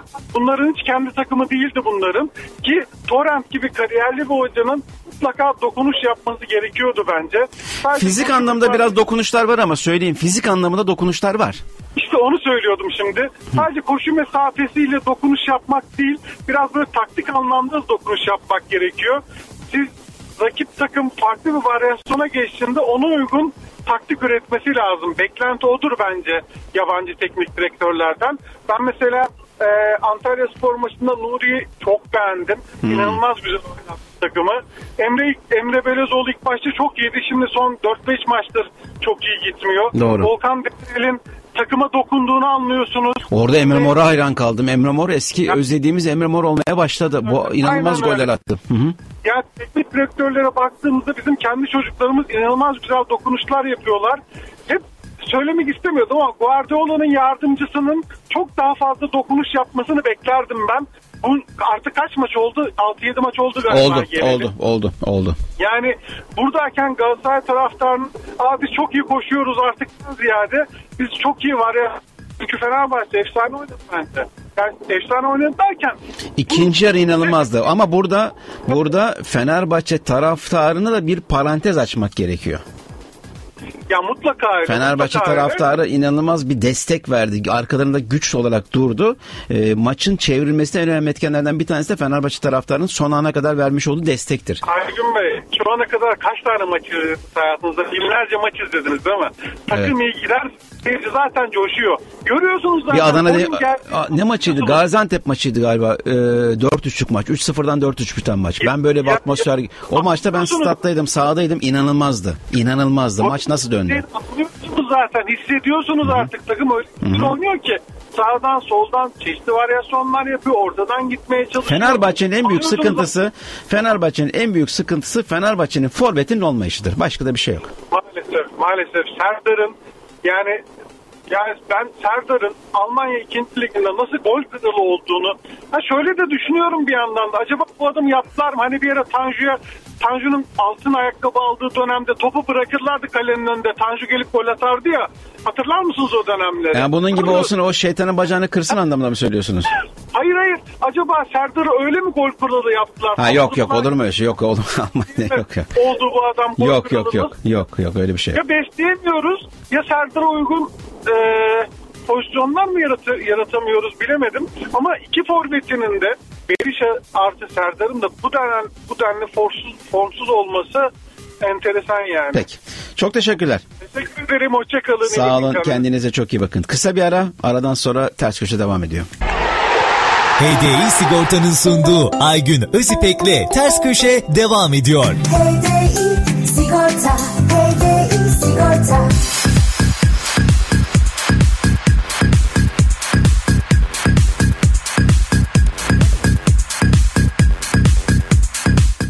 Tabii bu hafta böyle puan cetveline baktığımız zaman e, şimdi tekrar ona baktığımda e, Konya'nın kaybetmesi e, Trabzon'da kaybetti ama Konya'nın kaybetmesi Trabzon açısından avantaj teşkil etti. Çünkü 15 puanlık fark devam ediyor. Yani şimdi önümüzdeki hafta e, 31. hafta yani tabii milli takım arası var. Hafta, Perşembe günden sonra e, hafta sonu maç yok. 31. 2 4 6 8 hafta kalmış oluyor. Tahmin ediyorum herhalde 33 ve 34. hafta bu puan farkı e, devam ederse e, veya belki Konya kaybetmeye de devam ederse puan farkı biraz da açılırsa 2 hafta sonra falan belki 10-15 gün sonra Trabzonspor şampiyonluğunu ilan etmiş olacak. Hatta bir dinleyicimiz varmış. Günaydın. Günaydın. Merhabalar. Sizinle görüşmek çok keyifli bir olay. Çok teşekkürler. Aynı şekilde. söyleyeyim. Ee, ben bir Fenerbahçeliyim. İsmim Celal. Ee, Antalya'dan arıyorum. Hoş geldiniz Celal Bey. Buyurun. Hoş geldiniz. Dinliyoruz Celal Bey. Buyurun. Alo. Alo. Celal Bey. Abi ne kadar güzel başladı Celal Bey konuşmaya ya. Valla düştünüz hattan Celal Bey. Sakın yanlış anlamayın. Tahmin ediyorum e, bir sıkıntı oluştu. Çok da güzel giriş yaptınız. Sizinle de görüşmek çok çok keyifliydi. Eğer düşürebilirseniz tekrar ararsanız çok sevinirim Celal Bey. Bir de başka dinleyicimiz varmış. Günaydın. Günaydın. Günaydın Aygün Bey. Merhabalar. Nasılsınız? Çok teşekkürler. Siz nasılsınız? Kimle görüşüyoruz? Ee, sağ olun. Ben Yener. Buyurun Yener Bey. Ee, öncelikle şöyle bir şey söyleyeyim. Sezon başlandı size bağlanmak istiyordum. Sezon bitiyor anca bağlandık. Ee, ben e, çok aşırı ve fanatik bir Galatasaraylı. Çok aşırı ve fanatik Galatasaray Ben nasıl fanatik oluyor yani Yener Bey nasıl oluyor? Dün, yani evliyim dört çocuğum var. Önce onlar. Sonra hayatta benim için Galatasaray. Peki çocukların söyleyeyim. isimleri çok özür dilerim Yener Bey. Çocukların bu kadar aşırı fanatik olduğunu için söylüyorum. Çocukların Şimdi isimleri onu da size anlatayım. Buyurun. Ee, üç oğlum bir kızım var. Allah bağışlasın. Ee, sizinkilerinde. Sağ olun. Şöyle bir şey söyleyeyim. Ee, iki çocuğum vardı. Şimdi ikizlerim oldu. Maşallah Allah Benim bağışlasın. hanımım da e, o yüzden benden biraz Galatasaray çok hastalık olduğu için ondan biraz sakın sıkıntı yaşıyor. E, hatta ismini Metin Oktay koyacaktım. Bir ismi Metin, bir ismi Oktay koyacaktım. Öyle mi? Hanım, Ha. hanım, hanım bırakmadı artık yeter dedi. O kadar da olmaz. Ee, Ama bir göbek şey atlarını falan Ee, yapardın. Nasıl nüfus kağıdını siz yazdırıyordunuz. Geri dönüşte olmazdı yani. e, yok yok. o zaman büyük sıkıntı olur. Buyurun. Şöyle bir şey söyleyeyim. Ee, ben bir de Fatih Terim gittikten beri bir bağlanmak istiyordum. Yani Hı hı. size. Şimdi bir sürü Galatasaray taraftarı bağlanıyor. Ben bir de eski tribün e, liderlerinden biriyim. Hı hı. Galatasaray'ın. Şimdi imparator imparator diyorlar. Ben şimdi Galatasaray'a şöyle bir şey söyleyeyim. Bu sezondan başlayayım da daha daha çok uzun da size fazla uzatmayacağım. Şimdi bu sezon Burak Elmas geldi başkanımız. Doğru mu? Doğrudur. Yani bu gençleştirme operasyonu dediler. Şunu dediler, bunu dediler. Tamam. Fatih Terim'in Galatasaray şu anda borcunu herkes biliyor. Dört kulübün borcunu da biliyor. Galatasaray'ın borcunu yüzde sekseni Fatih Terim'e ait. Bunu bir. Bir geldi Lucescu'nun takımıyla ben çalışmam dedi. Çeyrek final oynayan Şampiyonlar Ligi'nde çeyrek final oynayan kadroyu bozdu. Bir sürü topçu aldı. Hepsi enkaz onu bıraktı gitti. Bu son gelişinde son gelişinde de yine bir enkaz bıraktı. Galatasaray 5 sene hani gençleştirecekti ya. 5 sene daha geriye attı gitti. Yani Galatasaray yani zor toparlar. Şimdi ben anlamıyorum yani nasıl yani tamam Türkiye ben bana göre de şu anda yani başarısı nedeniyle yani. Bana göre Türkiye'nin büyük hocası bana göre. Ama şöyle bir şey söyleyeyim gelip de Galatasaray'a bir kadro kurup şampiyon olduğu bir sezonu bana söylesinler ya. Bir tane Galatasaray taraftarı bağlansın. Fatih Terim geldi. Bize şu kadroyu kurdu. Bizi bu sezon böyle şampiyon yaptı. Yok. Geldi Tudor'un takımın üzerine geldi. Şampiyon oldu. Geldi ilk geldi 4 sene üstte şampiyon olduğu zaman orada ben onu zaten teyze ediyorum. Hacı Popescu onların sayesinde imparator lakabı takıldı Fatih Terim'e. Ben e, bundan sonra Fatih Terim'i Galatasaray'ın başında görmek istedim. Ben zaten Fatih Hoca'nın e, bir daha teknik direktörlük yapacağını tahmin etmiyorum. Yani biz dün maç seyrediyoruz. Yani yeni Torrent diye bir hoca getirmişler. Yani siz de dediğiniz gibi fizik olarak gerçekten takımda ben de bir yükseliş görüyorum. Ama yani 90 dakika doldu adam iki tane oyuncu değiştirdi ya. Hı hı. O, iki on- tane oyuncu değil. Zaten röportajına bakın. Başta verdiği röportaja bakın. Ben arkadaşım maçı izlemeye giderken dedim ki bu adam zaten maçı vermiş. Maçı kaybetmiş kafadan röportajda kaybetmiş. Yok biz çok yorgunuz. Yok e, kaç kere yolculuk yaptık. İşte hiçbir e, dinlenme vaktimiz olmadı. Topçularımız çok yorgun. Bunu söyleyen Zaten hoca maçta- e, Guardiola'nın yardımcısı Zaten- haftada haftada kaç yani- maç yapan yani Guardiola'nın takımının Yemin ediyorum, yemin ediyorum ben dedim kafadan bu adam maçı kaybetmiş. Vermiş yani maçı. Adam da Türkleştirmişiz o Vermiş zaman. yani. Hayır onu da biz kendimize benzetmişiz. Yani vermiş Normalde normalde Yorgun. böyle bir şey söylememesi lazım. Şimdi Barcelona bizde top oynamadı mı? Evet. Oynadı değil mi? Hı hı. Gitti adam Real Madrid ne yaptı? Darmadağın etti Evet. deplasmanı. Dört. Doğru mu? Doğru. Bunlar uzaydan mı gelmiş bu topçular? Bunlar hiç şey değil mi yani insan değil mi? Bunlar robot mu yani? E tamam Tabii senden önceki maçta da zaten e, erteleme istendiği haftada da Barcelona'da kendi sahasında yani, oynadı. Yani, yani şarj mı oluyorlar bunlar ben anlamıyorum. Yani ben e, sadece Galatasaray'a, Fenerbahçe'ye, Beşiktaş'a, Trabzonspor'a çok yazık oluyor. Çok yazık oluyor. Çünkü artık bunların paralarını yiye yiye yiye yiye artık kulüplerde bir şey bırakmadılar. Yiyenlere de haram zıkkım olsun. Buradan söylüyorum. Gerçekten ben çok doluyum Aygün Bey. Peki. Sizinle fazla vaktinizi Peki çok teşekkürler. Yani Bey. Kendinize çok çok iyi bakın. Görüşmek üzere. Evet saatlerimiz 11'i gösteriyor. Artık telefon almayacağız. Ee, gelen mesajları okuyacağım ama tabii ki programın ikinci bölümüne geçiyoruz. Kısa bir reklam aramız var. Hem haberleri vereceğiz hem kısa bir reklam aramız var. Aradan sonra da ters köşe tüm hızıyla devam edecek. Ee, Ümit Hamza deminki Yener Bey hemen bir mesaj. Abi 4 yıl üstte şampiyon olan kadro terimi kadrosu. 2011-2012, 2012-2013 sezonu şampiyonu kadroyu baştan sona terim yaptı e, demiş Ümit Hamza. Derya Korkmaz e, Derya Korkmaz'ın mesajını okuyorum. Aygün Bey geç sonra sert fauller yapıldı evet ama hiçbiri sakatlamaya yönelik değildi. Ama geçen pazartesi Gezal'ın dün de Anteplerin Kerem'e, Kerem'in direkt aşil tendonuna e, tandemine ve sakatlamaya yönelik kötü niyetli faulleri vardı. Ve Kerem sadece Galatasaray'ın değil Türk futbolunun altın çocuğudur. Dün sakatların Portekiz maçında olmasaydı yerine Getson mu oynat- oynatacaktık. Arda'nı Arda'nı Ümit milli takımda alınmaması ve dün de Kerem'e yapılanlara müsaade edilme, edilmesi kusura bakmayın milli takıma ihanet gibi geliyor demiş Derya Korkmaz hanımefendi. Evet hattımızda Hürriyet Gazetesi'nin Fenerbahçe muhabiri ve yazarı Sayın Süleyman Arat var. Sayın Arat yayınımıza hoş geldiniz. Teşekkürler, iyi yayınlar. Öncelikli olarak bir son dakika gelişmesiyle başlayalım. Atilla Zalaye ile ilgili Fenerbahçe Spor Kulübü açıklama yaptı. Aşı tendonundaki e, sakatlığıyla ilgili. Neler söylersiniz bu ka- sakatlıkla ilgili? Valla şimdi e, bir hafta önce olsaydı çok önemli bir kayıp diyecektim. Şimdi hem bir milli ara var önümüzde hem de e, Novak döndü. Onun için Fenerbahçelerin çok büyük kaygıya kapılmasına gerektirecek bir durum yok. Çünkü solda artık Novak oynayacak. Dün ben çok beğendim Novak'ı. Ben de çok beğendim Aradan, Hı hı. uzun bir aradan dönmesine rağmen çok verimli oynadı. Yani sanki hiç ara vermemiş gibi çok istekli ve şey o girdikten sonra Fenerbahçe'nin sol kanadında e, çok iyi çalışmaya başladı. Dolayısıyla e, yani çok büyük bir kayıp değil. Tabii üzüntü verici. Çok önemli bir oyuncu. Ancak tabii ki yani bir hafta önceyle kıyasladığın zaman ehvenişer diyelim yani. E, sezona herhalde bence e, zaten sona yaklaşılıyor. Çok az bölümünde oynayabilecek herhalde Atilla Salahi. Şimdi dünkü maça e, sen sormadan ben istersen Tabii buyurun. yapayım. buyurun. E, dünkü maçta e, benim dikkatimi çeken en önemli şey e, ilk yarı e, tıkanan oyundu. Fenerbahçe'yi beğenmedim ilk yarıda açıkçası. Ama öyle bir taraftar vardı ki yani e, 35 bin küsürdü biliyorsunuz taraftar sayısı. E, öyle bir taraftar vardı ki yani takımı galibiyete mahkum etti adeta.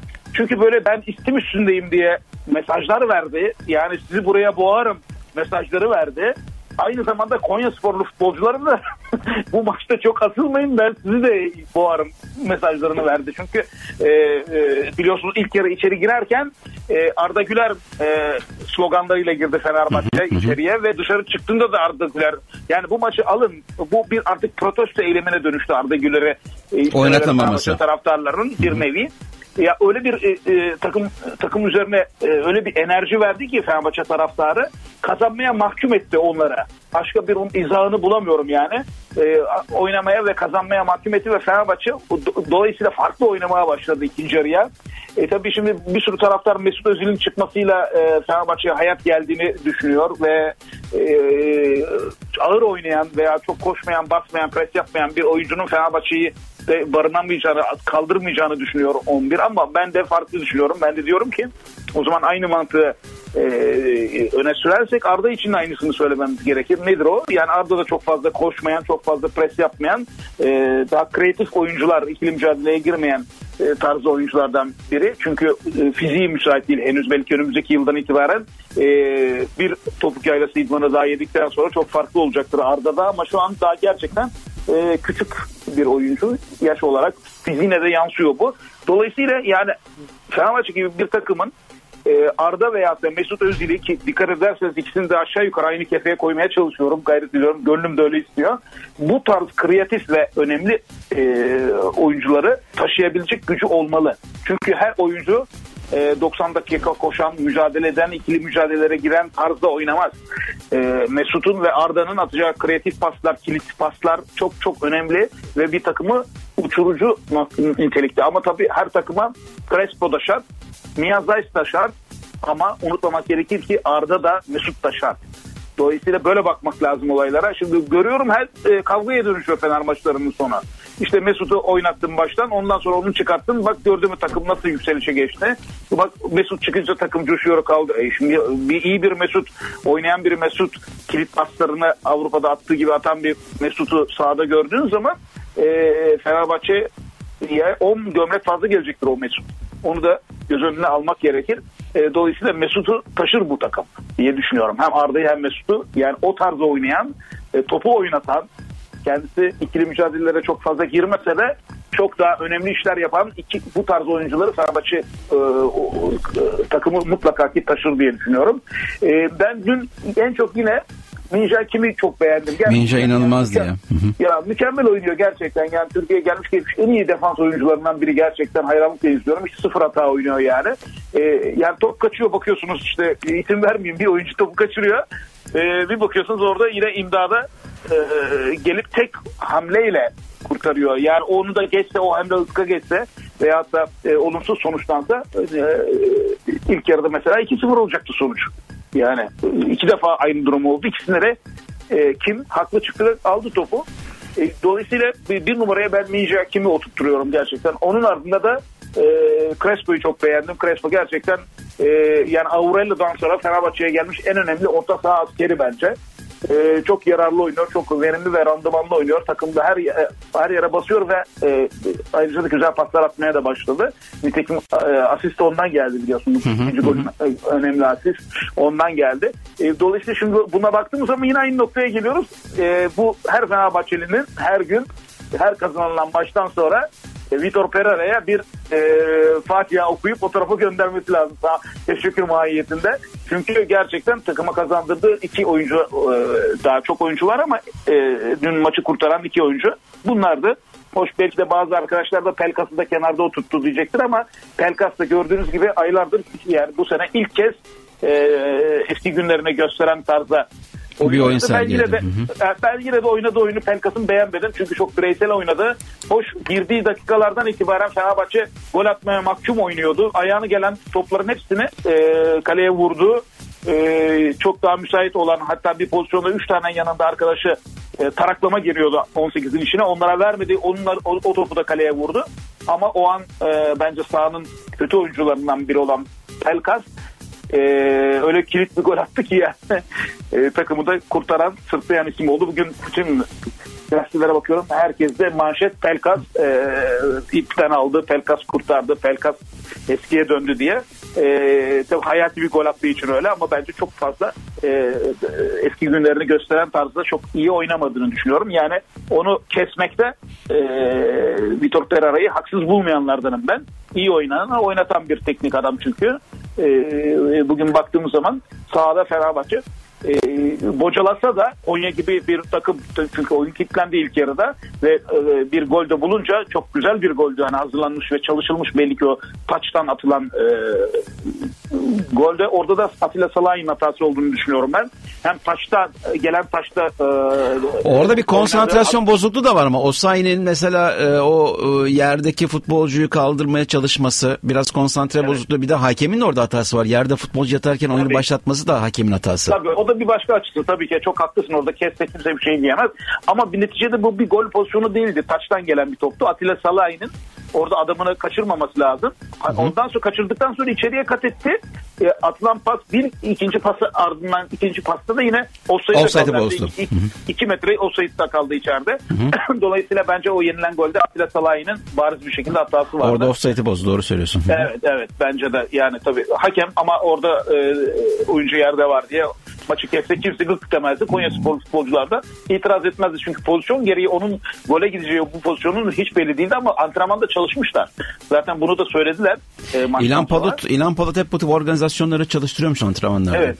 Evet çok akıllıca aslında yani e, işte Altay'ın oyunu e, e, uzun açması asistle sonuçlanan bir e, Al- Al- Alanya'da bir pozisyon oldu. E, burada da İlhan Palut'un e, taçtan e, biliyorsunuz Avrupa'da artık birçok takımın böyle taç antrenörleri var. Ondan sonra şimdi oyun açma antrenörleri var. Santrafor antrenörleri var, golcü antrenörleri, antrenörleri Bizde de var zaten bizde de var. E, yani bi- bilmiyorum ben takımda göremiyorum Fenerbahçe'nin E, antrenörleri. Bir hoca hepsini ya öğretiyor zaten. Bizdeki onların beşini yapamadığını, beşini yaptığını biz de tek kişi yapıyoruz.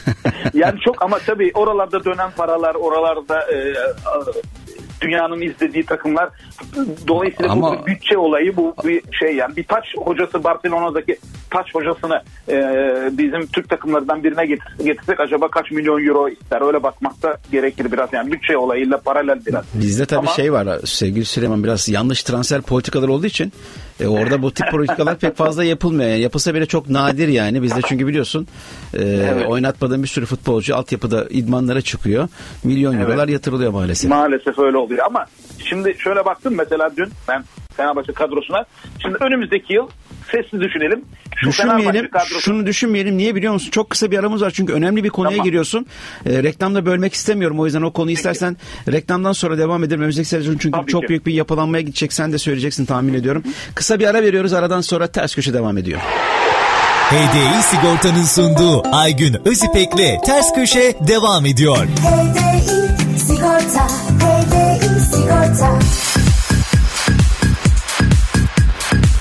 Evet ters köşe devam ediyor. Hattımızda Hürriyet Gazetesi'nin Fenerbahçe muhabiri ve yazarı Süleyman Arat var. Evet Sayın Arat. Önümüzdeki senenin plan programı diyorduk. Buyurun söz sizde. Evet. Yani şimdi Fenerbahçe'nin önümüzdeki yıl başına e, çok önemli bir teknik adam geleceğini hepimiz biliyoruz. Dün gibi ortada. Yani İsmail Kartal'ın da ben biliyorsun en son e, o gençlerin imza töreninde Sayın Başkan Ali Koç'a söyledim. E, İsmail Kartal ikinci adamdı kabul etmediğini belirtti bizlere. Ondan sonra kesinlikle böyle bir durum olmayacağını söyledi ama ben ona bir başka titr uydurularak bir e, yardımcılık yapacağını düşünüyorum. Çünkü çok başarılı bulundu Fenerbahçe'de. E, gördüğün gibi bir seri yakalandı son 6 maçta. 5 galibiyet, bir beraberlik ki o beraberlik de 11-11 oynansaydı belki de e, galibiyetle sonuçlanıp 6'da 6 yapmış olacaktı Fenerbahçe. E, yani bu ta 2010-2011 yılından beri görülmeyen bir seri anlamına geliyor. O seriye yaklaşır gibi bir durum söz konusu. Dolayısıyla yani başarılı görülüyor e, İsmail Kartal. E, bu gelen teknik adamın yanında bir başka titriyle be- belki görev yapacak diye düşünüyorum ben. E, ikna edilecek yani İsmail Kartal. E, fakat şöyle takıma şöyle bir baktım ben dün. E, yani bu takımdan e, kimi gönderirsiniz de yerine ne alırsınız, kimi alırsınız diye şöyle bir düşündüm ben. Oysa e, Fenerbahçe'nin dün sahada e, mücadele eden oyuncuların içinde sırıtan sadece bir gol bölgesinde Serdar Dursun var bence. Yani gerçekten bu takım mükemmel bir takım kadro itibariyle baktığın zaman. E, bir işte burada baktığın zaman çok dünya çapında bir golcü bu takıma alınırsa e, işte takımdan gitmesi ihtimali olan oyuncular var. Nedir o? Minja kimi tutamazsın yani bu kadar mükemmel oynayan bir oyuncuya. Çok önemli paralar ve çok önemli te- transfer teklifleri gelecek tabii ki. Tabii burada oyuncunun ve menajerlerin tercihi çok önemli ama ben gidebileceğini e, kuvvetli bir ihtimal olarak görüyorum. E, Yani bu durumda Serdar'la yola çıkılır mı? Serdar Serdar büyük ihtimalle tutulur çünkü 7 artı 4 var ya önümüzdeki sene. Bir sonraki sene Ama 6 artı yola 5. çıkılır mı? Serdar'la bir sezona girer misin sen teknik adam olarak? Ben Yani tabii şimdi gitmem. çok fazla sık sık sakatlık geçiren bir Serdar var. çok Doğru fazla söylüyorsun. sakatlık geçiren bir oyuncu. Çok çabuk kilo alan bir Evet. oyuncu. Ee, fiziki yapısından kaynaklanıyor bu. Dolayısıyla da geri dönüşleri zaman alabiliyor. İyiye yani e, işte dün Filip Lova'yı gördük girer girmez çok iyi oynadı ama aynı durumu biz şeyde göremiyoruz yani. Ee, Serdar Aziz'de göremiyoruz. Dolayısıyla Serdar Aziz'in önümüzdeki yılın e, rotasyon oyuncusu olur diye düşünüyorum ben. Kulübede olur ağırlıklı olarak.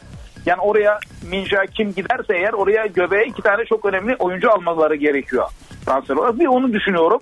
Bir gol noktasında e, Serdar Dursun'u kulübeye çekersin veya Berişe'yi kulübeye çekersin ikisinden birini.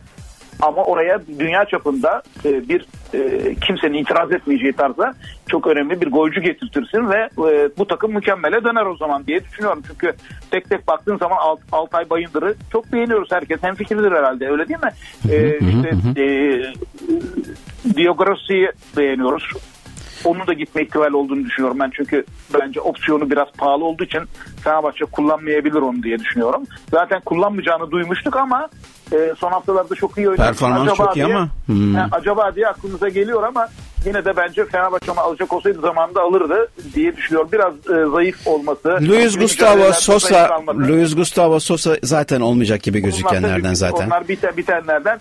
Dolayısıyla yani şimdi baktığın zaman e, Diego Rossi kalır eğer e, opsiyonu kullanılırsa. İrfan Can Kahveci kalır. Osay Samuel muhakkak ki kalır. Miyazay e, onun sözleşmesi bitecek. Dolayısıyla bakalım ne karar verecekler. E, o, Crespo kalır. Ondan sonra baktığım zaman e, Arda tabii ki takımın en önemli oyuncularından biri. Geri kalan hepsi gidecek gibi gözüküyor. Doğru. Ozan Tufan İngiltere'ye döner. Berisha ile vedalaşılır.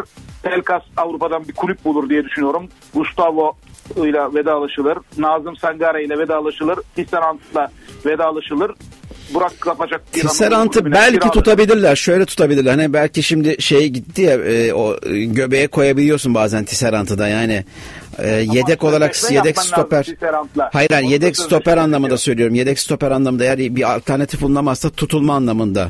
Yani kulübede bu kalması anlamında belki bir düşünceler olabilir. Belki. Ben sanmıyorum valla yani Tisserant'la bir yeniden bir sözleşme yapacaklarını hiç zannetmiyorum. Yani biteni gönderirler bu. Ben de zannetmiyorum ama işte belki bulamazlarsa bulunamazsa stoper anlamında sıkıntı Olabilir yaşama ama anlamında. Hı. ihtimal diye düşünüyorum. Bir, bir sol bek alınır diye düşünüyorum ben. Ee, Mutlak suretle. Yani muhakkak surette bir sol, sol, sol bek alınır diye düşünüyorum. E, çünkü e, Ferdi'yi orada düşünüyoruz ama e, Ferdi önde de oynayabilen yani dönüşümlü oynayabilecek tarzda bir sol bek e, oraya çok e, yerinde olur ve yakışır diye düşünüyorum. Yani şunun için bunu konuyu açtım ben. Fenerbahçe'nin oldukça iyi bir kadrosu var. E, gördüğün gibi e, e, kimi satarsa gelecek e, rakamla da bu saydıklarımız e, e, rahatlıkla alınabilir. Yani 20-25 milyon eurolarda bir e, Minja Kim'in transferiyle oraya bir santroforda sol bekte e, sol kanatta rahatlıkla alınır diye düşünüyorum ben. Mesut kalır mı? yıl- Mesut tabi burada sadece Mesut'un isteğine kalmıyor. Çünkü taraftar da Mesut'a karşı bir memnuniyetsizliği ve huzursuzluğu oluştu. Tabii az önce onu söylemeye çalıştım. Her maçın ardından Mesut konuşuluyor. Yani kazanılan maçta da Mesut konuşuluyor. Kaybedilen maçta da Mesut konuşuluyor. Oynadığı zaman da konuşuluyor. Oynamadığı zaman da konuşuluyor. İşte biz de burada iki hafta önce oynamadığı zaman da seninle aynı şekilde Mesut'u konuşmadık mı? Konuştuk. Nerede Mesut? Ne, ne zaman göreceğiz sahada? Bu ne zaman forma giyecek diye o zaman böyle konuşuyorduk. Şimdi oynadığı zaman da taraftarlar işte Mesut'la çıktığın zaman maç kötüye gidiyor. Mesut'u oyundan aldığın zaman işte Alanya'da böyle oldu. Ee, işte Konya maçında böyle oldu. Mesut'u oyundan aldığın zaman işte hamle yaptığın zaman Pelkas'ta veya Arda'yla oyun dönüyor ve demek ki Mesut'la bir kişi eksik oynuyoruz mantığı hakim. E böyle bir atmosferde böyle bir havada Mesut'ta kalmak istemez doğal olarak. Yani daha iyi oksijen olacağı, daha sevileceği bir yere doğru yelken şişirir diye düşünüyorum. Ama tabii önümüzdeki e, kalan maçlarda belki de Mesut'u e, çok daha iyi noktada göreceğiz ve taraftarlarla olan bu uyumu artacak. Ama taraftarlar unutmasın ki Mesut bir dünya yıldızıdır. Kendini kanıtlamış bir büyük futbolcudur. ve yaşlı değil, sakat değil. Sadece biraz anlayışa ve işte bu Fenerbahçe'nin e, şampiyonluk özlemi ve tahammülsüzlüğünden kaynaklanıyor. Taraftarlar artık dayanacak takatları kalmadı. Ondan kaynaklanıyor. Hiçbir oyuncuya tahammülleri yok. Yani hata yapan, hiçbir teknik adama hata yapan, hiçbir oyun kurucuya veya da dünya yıldızına buraya yani mezardan çıkıp Maradona gelse e, iki maç kötü oynarsa onu da yuhlar noktasında Fenerbahçe taraftar. Çünkü şampiyonluk özlemi katlanarak büyüyor. E, 8-9 seneye doğru gidiyor. Dolayısıyla bu da e, çok önemli bir e, kanayan yara Fenerbahçe taraftarının gönlünde, ruhunda. İşte dün ikinciliğe bile, lig ikinciliğine bile atopot gibi sarıldı taraftarlar. Çünkü K- Konyaspor'u yenerse 2 puana inecek lig ikinciliği ve Şampiyonlar Ligi'ne gidecek bu kötü oynayan ve taraftarı üzen Fenerbahçe diye 35, 35 bin kişi e, stadı doldurdu. Hatta sosyal medyadan bir sürü paylaşımlar okuduk. Ben gidemiyorum biletimi almak isteyen işte bende bir bilet var. Bir arkadaşım gidemiyor o bileti birine vermek istiyorum diye. insanlar yani böyle bir e, kampanya düzenlediler hadise. Gidemeyenlerin yerine de mutlaka birisi e, tribünlerde olsun diye. Aynı Trabzon maçına yakın bir ka- kalabalık oluştu. Çok az bir farkla. E, 35.307. Trabzon 35.307 taraftar. Hı hı. Evet. Dolayısıyla do- dolayısıyla yani çok önemli bir taraftar kitlesi. Bu da şeyi gösteriyor Fenerbahçe takımının açlığını. Bence lig ikinciliği de Fenerbahçe için hiç o kadar şu an garantide değil. Çünkü Fenerbahçe daha Galatasaray derbi. Onu sana soracağım. Şimdi Fenerbahçe tabii kendisini kupadan kupanın dışına iten Kayseri e, maçı var. Arkasından Galatasaray derbisi var. Tabii. E, baktığın zaman e, fikstüre baktığın zaman yani Konya ile Fenerbahçe'nin fikstürüne baktığın zaman hangisini daha avantajlı görüyorsun? Konya'yı daha avantajlı görüyorum ben e, bir spor adamı olarak açıkçası yani e, belki Fenerbahçe taraftarları bana üzülecek veya kızacak ama gerçekçi olmak gerekiyor. Çünkü Fenerbahçe'nin maçları daha zor. Yani mesela Kayseri'ye gidecek dediğin gibi ne kadar ligin en önemli top oynayan takımlarından biri Hikmet Karaman gerçekten büyük takımlara karşı çok daha farklı oynatıyor Kayseri'yi ve e, bir bir kupadan hepsini eledi. E, e, ligde de e, sıkıntı yaratıyor büyüklere karşı. Özellikle farklı oynuyorlar yani. Motive ediyor takımı ve iyi taktik anlamda, taktiksel anlamda e, çok iyi yönetiyor takımını. Dolayısıyla da zor bir maç. Onun ardından da dediğin gibi Galatasaray derbisi var. Galatasaray yani çok zor durumda. İşte yine geldi. Bir, Antep'e kaybedince e, dibiye oturdu yani düşme hattının bir üstünde bulunuyor. E, sıkıntılı günler yani onlar için. Onlar da kazanmak için gelecek buraya dön yani artık e, şeyi yok yani bu işin şakası yok yani. ciddiyete biniyor. Belki matematiksel olarak düşme ihtimali zayıf gibi gözüküyor puan anlamında ama e, bu, bu noktaları yaşamak da bir Ga- Galatasaray gibi bir camiaya gerçekten acı veriyor yani. Bir an önce yukarılara çıkmak istiyorlar. O, o- dolayısıyla onlar da Fenerbahçe maçını çıkış olarak görebilir. Dolayısıyla bir de Fener- Fenerbahçe'nin Beşiktaş maçı olacak. Yani zor maçlar dolayısıyla e, Fenerbahçe'nin lig ikinciliği zaten iki puanda fark var. Kolay değil. Onun için Fenerbahçe'nin sürekli kazanması gerekiyor. Hep kazanması gerekiyor. E, o da hani 6 maçtır e, toplamdan bir 16 puan var. E, bunu böyle 6 maçı 10 maça kadar çıkartmak da her baba yiğidin harcı değil yani çok büyük bir başarı. Tarihi bir başarı olur eğer öyle üst üste kazanılan e, maçlarla Şampiyonlar Ligi'ne İsmail Kartal Fenerbahçe'yi taşırsa gerçekten adını tarihe yazdırmış olur diye düşünüyorum ben. Dolayısıyla bir tık e, Konya Spor'u daha avantajlı görüyorum ben. Ben bugün bir anket yaptım. Ankette e, yeni teknik direktör mü yoksa İsmail Kartal'la devam mı diye bir soru sordum. E, yeni teknik direktör için gelen e, %71.8, İsmail Kartal'la devam oranı da %28.2, 2522 kişi oy kullanmış. Yaklaşık bir saatlik bir süre olmuş. E, Anketin e, süresi bir saat e, civarı. Bence İsmail Kartal'a oy verenler Beşiktaşlı ve Galatasaraylı olabilir. Ama şunu sana söyleyeyim yani zaten e, ben yeni dönemde İsmail Kartal'ı e, takımda görmeyeceğimizi Tabii düşünenlerdenim. tabii tabii. Yani bu, ben mutlaka takımda olmasını e, şey en azından bir iyi bir zihin, iyi bir motivasyon şey biliyorsun e, Aykut Hoca'yla da çok verimli çalıştı. E, Ersun Yanal'la da çok verimli çalıştı ve şampiyonlukta ikisinde de çok büyük etken oldu. Dolayısıyla kendisi de bir önce geldiğinde de e, bir santrofor eksiği vardı Fenerbahçe'de biliyorsun. Orada bir golcü alsaydı e, o zamanki yönetim e, İsmail Kartal'a belki kendi başarısını bir şampiyonlukta da taçlandıracaktı ama olmadı işte bir o kurşunlama olayı girdi araya. Yani İsmail Kartal böyle e, kullanılıp kenara atılacak bir teknik adam değil. Fenerbahçe için özellikle değil.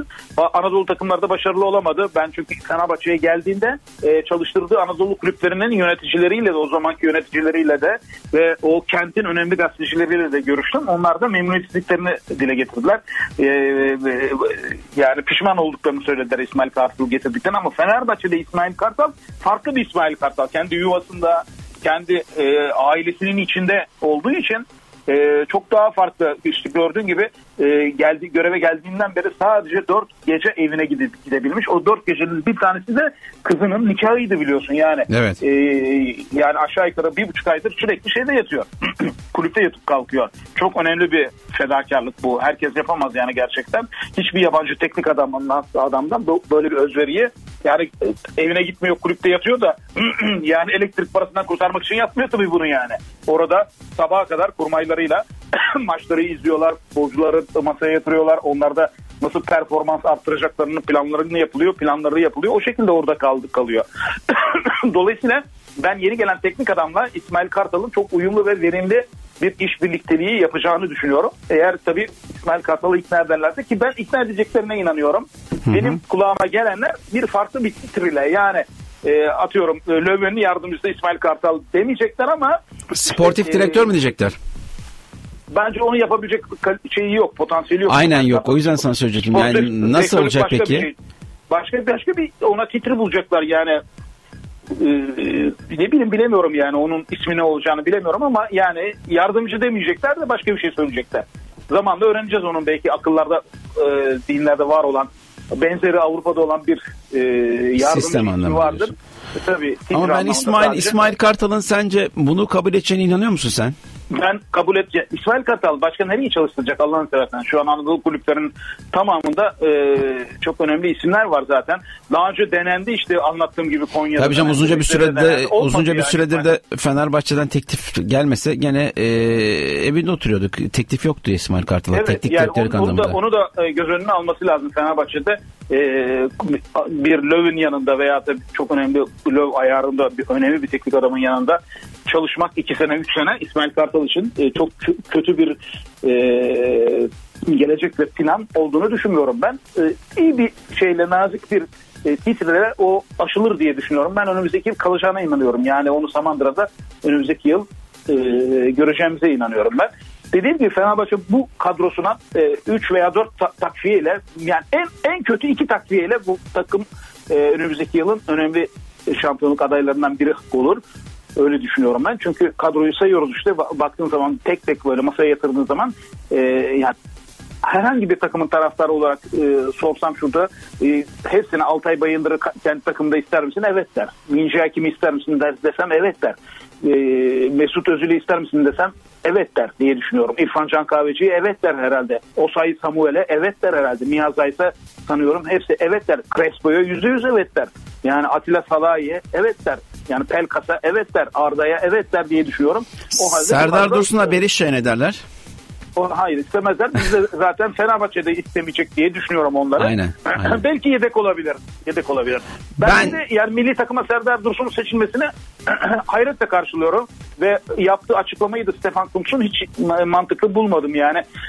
Diyor ki e, kendi takımında bile 90 dakika oynamayan genç bir oyuncuyu A milli takıma Portekiz gibi e, oynanan hayati önem taşıyan bir mi- milli maça ka- kadroya alınmasında ısrar edilmesine ve buna takılınmasına anla, anlayamıyorum diyor. Ya biz de senin bu söylediğini anlamıyoruz yani. Sen Arda özelinde söylüyorum bunu veya Arda gibi Arda ge- gençliğinde Arda, Arda pozisyonunda olan bir oyuncu için söylüyorum.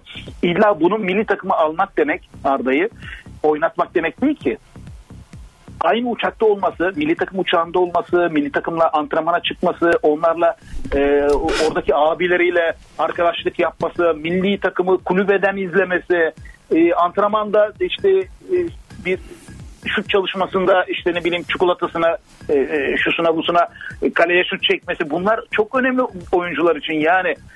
Şimdi şöyle bir örnek vereyim. Ben 40 yıldır hürriyette çalışıyorum. Aralıksız bu sene 40. yılım. Ancak şimdi acaba beni o 17 yaşında New York Times'a götürseydin, New York Times'ta 6 ay kalsaydım, staj yapsaydım bana orada köşemde yazım çıkmasa veya haberim fotoğrafım yayınlanmasa bile bana yararı olur muydu olmaz mıydı diye düşünmek lazım. Yani Arda'ya Olurdu. bir, bir taltiftir bu eğer milli takımla aynı uçakta olması, aynı takımda olması, kulübede oturması bir taltiftir. Senin geleceğin burası demektir. Anlatabiliyor muyum? O yüzden çok önemli bir mesajdır ve e, Arda'ya çok yararı olur. Türk futboluna da çok yararı olur. Sadece Arda özelinde söyledim ama bütün genç oyuncuları... Emirhan da şunu sormak istiyorum sana. O zaman yani biraz e, sevgili Süleyman şey mi acaba? E, tercihlerde biraz hatalar yapıldığını düşünüyor musun milli takım? Ben yüzde yüz öyle düşünüyorum. Yani geçen gün ben bununla ilgili kendi Twitter hesabımdan tweet attım. Seyrettim. Milli takımı şöyle bir inceledim kendi kendime akşamleyin. Açıklandığı akşam. 16 tane e, yabancı ülkede oynayan e, ve yabancı ülkede doğan oyuncu var yani. E, 16 tane. Yani gerçekten bir şaşırtıcı yani. Oysa bu ülkenin potansiyelinin de olduğunu düşünüyorum ben. Yani çok da iyi oyuncularımız var. Oralarda oynayabilecek. Yani genç oyuncular var mesela. Bu Kasımpaşa'da Eren Elmalı'yı sol beke niye almazsın yani değil mi? Yani, Evet. Değil mi? Evet, evet. Yani e, al kenarda dursun. Sıkıştığın an oynatırsın belki ama o çocuklar genç çocuklar 17-18 yaşında 19 yaşında çocuklar e, e, yarın orada olacaklarını hissettirirsin ona o yani alarak oynatmasan da orada oturtarak o havayı o ambiyansı yaşatarak yarın sen buranın oyuncususun mesajını verirsin. Dolayısıyla biraz Stefan Kuntz'un veyahut da e, ona akıl veren birilerine isim vermeyeyim artık anlayan anlamıştır. E, mutlaka bu kadro seçiminde etkili olduğunu düşünüyorum ben. E, Ümit milli takımı teknik direktör için neler söylersin Tonlay Kafkas'la ilgili? E Şimdi o bir açıklama yaptı ona saygı duymak lazım. Şimdi ben e, U17 milli takımın hocasıyla da konuştum kendim kendi gazetem için. E, orada da şimdi e, maç arasında yapılacak bir turnuvaları var. Çok önem taşıyor. Or- orayı da kazanırlarsa Galler'le so- e, oynayacaklar.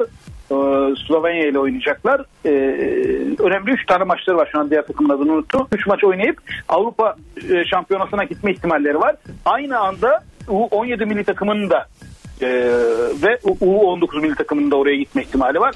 Böyle bir olay şu ana kadar yaşanmadığını belirttiler ve ilk kez iki takımın birden Avrupa Şampiyonası'na gitmek istediğini ve o oraya çok yakın olduklarını söylediler. Arda'yı da o yüzden U17'ye seçtiklerini söylediler. Oranın kaptanı ve çok önemli kilit oyuncusu olduğu için ona ihtiyacımız var ve e, o yüzden buraya seçtik dediler. Yani e, önce orada oynayacak ve oranın şeyi daha önemli. E, maçları çok daha önemli olduğu için Arda'yı orada kullanmak istediklerini söylediler. E, Avrupa Şampiyonası'na e, çok fazla sayıda squad e, e, görevlilerin geldiğini, bir sürü, bir sürü e, linkle bir sürü dünyanın ülkesinde izlendiğini, e, ve herkes bütün büyük takımların gözlerinin o Avrupa Şampiyonası'nda olduğunu belirtti e, hoca. Yani futbolcu geleceği için de çok önemli. Milli takımın vitrini için de çok önemli. Oradan gelecek milli oyuncuların e, bir veya iki sene sonra A milli takımda e, performans göstereceği için o anlamda da çok önem ta- taşıdığını belirtti bana. E, ben ikna oldum yani böyle olunca tabii ki bir plan projedir bu işler. Yani bugünü değil yarını düşünmek daha akıllıca. yani Arda'yı Portekiz maçına bu nedenle almadım dersen saygı duyuyorum ben. Ama e, e, Stefan Kuntz'un açıkladığı gibi e, bu kadar küçük daha kent takımında 90 dakika oynamamış bir genç oyuncuyu Portekiz gibi önemli bir maça almak e, ve bu konuda diretmek de bana çok akıllıca gelmiyor demek de sinir bozucu geliyor bana açıkçası. Ama tabii e, U7'de oynamasının tabii ge- gerekçesini e, oradaki hoca anlatınca o zaman diyorsun ki tamam haklı. Burada ona ihtiyaç var. Burada kazanılacak bir başarı Avrupa Şampiyonası'na taşıyacak alt milli takımı orada da çok önemli tecrübe edinecek. Öyle bir önemli bir turnuvaya girecek. Bütün dünyanın gözünün orada olduğu televizyon, dünya televizyonlarının hakikaten yayınladığı önemli bir turnuvaya girecek ve oradan çok daha tecrübeli ve e, hem Fenerbahçe'ye hem A takıma e, çok daha e, donanımlı olarak gelmiş olacak diye düşünüyorsun ve ikna oluyorsun. Anladım. Aynı şekilde Ömer Faruk Beyaz da U19 milli takımda ve oranın kaptanı pozisyonunda o da çok önemli e, bir görev üstlenecek. Şimdi Futbol Federasyonu bu milli maçlardan önce sanıyorum sitelerinden bir link e, koyacaklar. İsteyen futbol severler o linkten bu genç e, milli takım maçlarını izleme şansları olabilecek. Bunu da oradan belirteyim futbol severlere. Sürekli e, Futbol Federasyonu'nun internet sitesini takip etsinler. Milli maçları oradan seyredip işte Arda'yı, Ömer Faruk Beyaz'ı veyahut da Beşiktaşlar kendi kadrolarında bulunan genç oyuncuları, Galatasaraylılar kendi kadrolarında bulunan milli takıma giden genç oyuncuları veya Avrupa'da işte Bayern Münih'te oynayan, e, diğer büyük takımlarda oynayan genç çocuklarımız var. Onları da oradan izleme şanslarını bulabilirler. Çok keyifli maçlar olacağını düşünüyorum ben. Sevgili Süleyman Arat, çok teşekkürler yayınımıza bağlandığınız için. Ben çok teşekkür ediyorum. İyi yayınlar diliyorum. Herkese sağlıklı bir hafta diliyorum. Evet e, hattımızda Hürriyet Gazetesi'nin Fenerbahçe muhabiri ve yazarı Süleyman Arat vardı. Kısa bir ara veriyoruz aradan sonra ters köşe devam ediyor. HDI Sigorta'nın sunduğu Aygün Özipek'le Ters Köşe devam ediyor. HDI Sigorta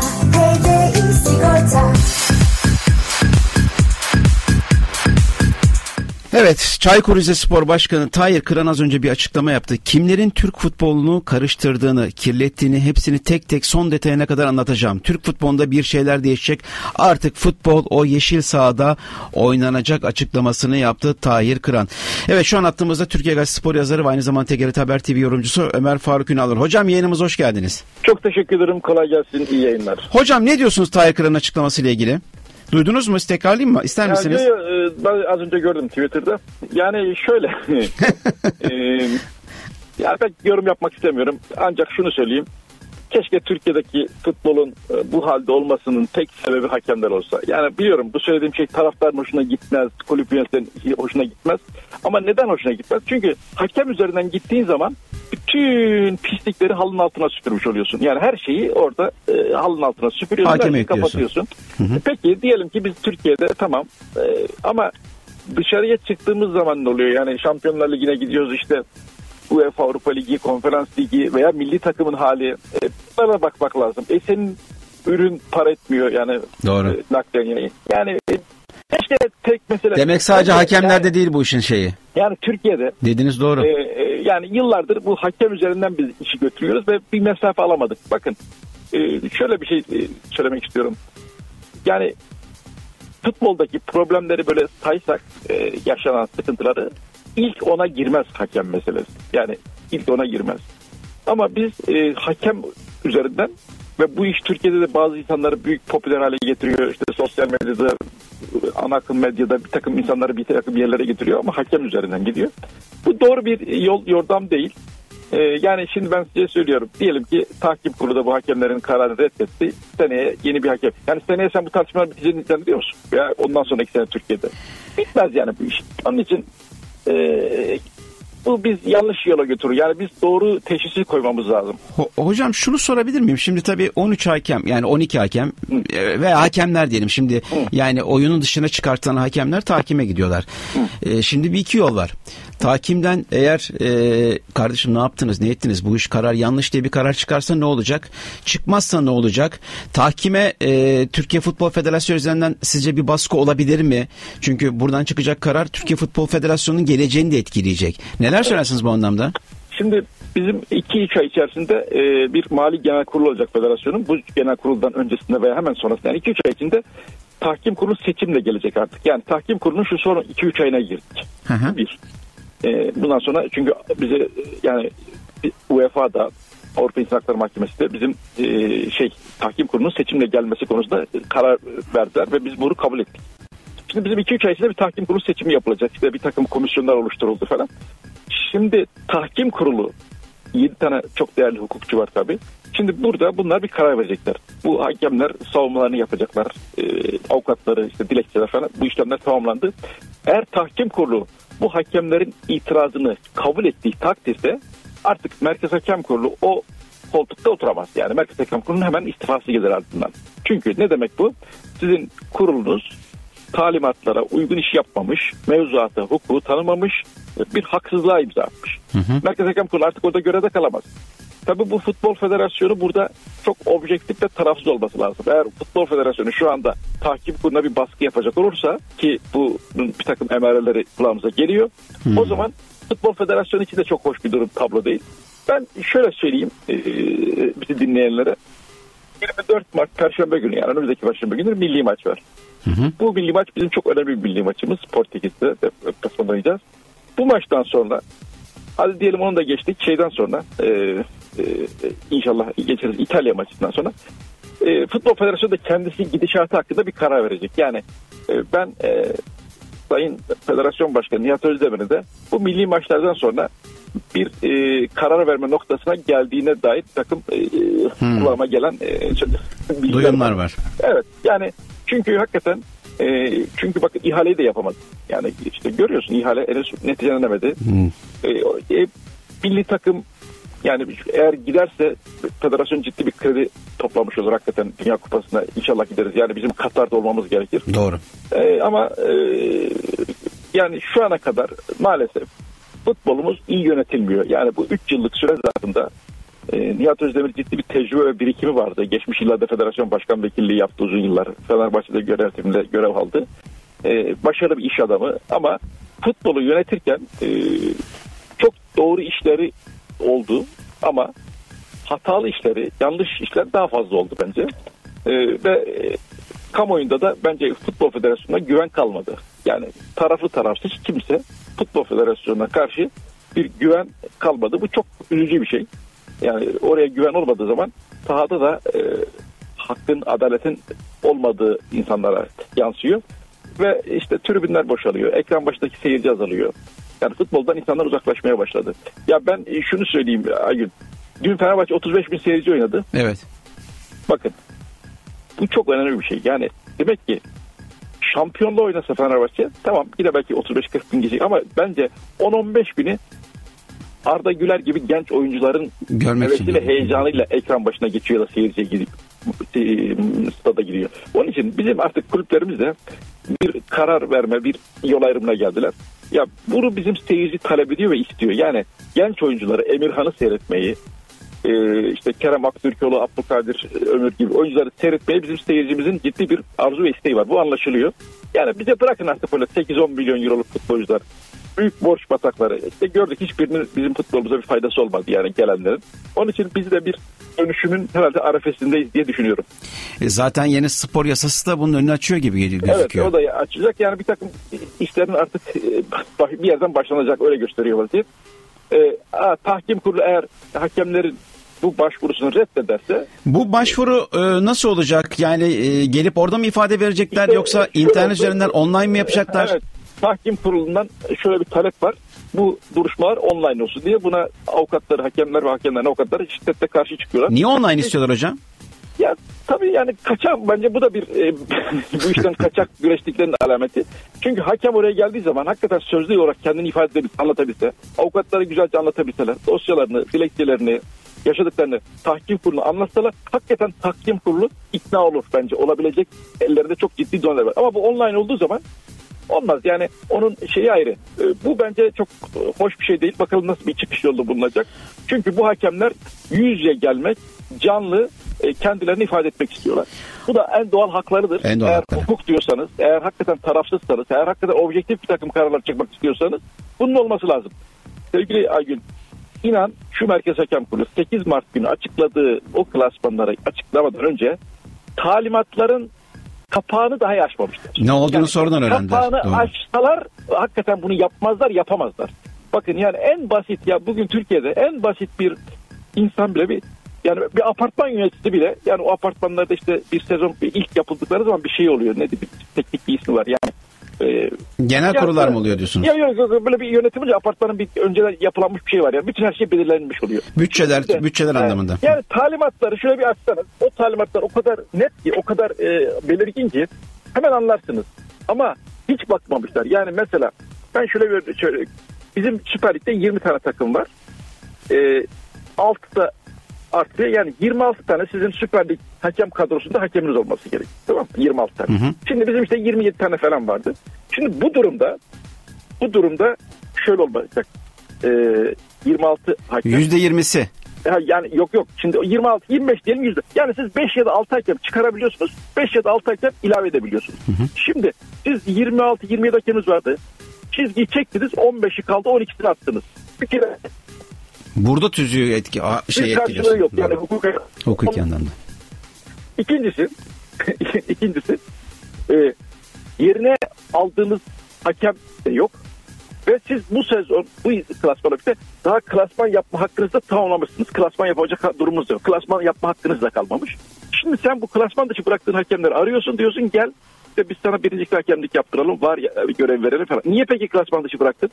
Bir daha klasman yapma hakkın yok. Eğer yaparsan o da çok talimatlara aykırı işlemiş oluyorsun. Bu hakemleri ve gözlemcileri sistemin dışına atarken bunlar hiçbir suç işlememişler. Disiplin kararı yok. Bir 6222 sayılı kanuna karşı gelmemişler. Bir imtihandan geçmemişler. Hakemlerin ve gözlemcilerin notlarını baz almamışsın. Yani hiçbir şey almamışsın. Yani var ya bak çok birkaç gündür bu talimatları çok dikkatli okuyorum, inceliyorum. Ya mevzuata uygun tek bir kelime yok ya. Tamamen karşı ve hepsi de e, hukuksuz. Yani o zaman takimden dönmesi gerekiyor hocam böyle baktığımız Yani zaman. Öyle yani adalet diyorsanız, kamu vicdanı diyorsanız bu işin tahkimden bir şekilde dönmesi, Dönmesi lazım. Ama tahkim kurulu da o da bir e, vicdan muhasebesi yapacaktır.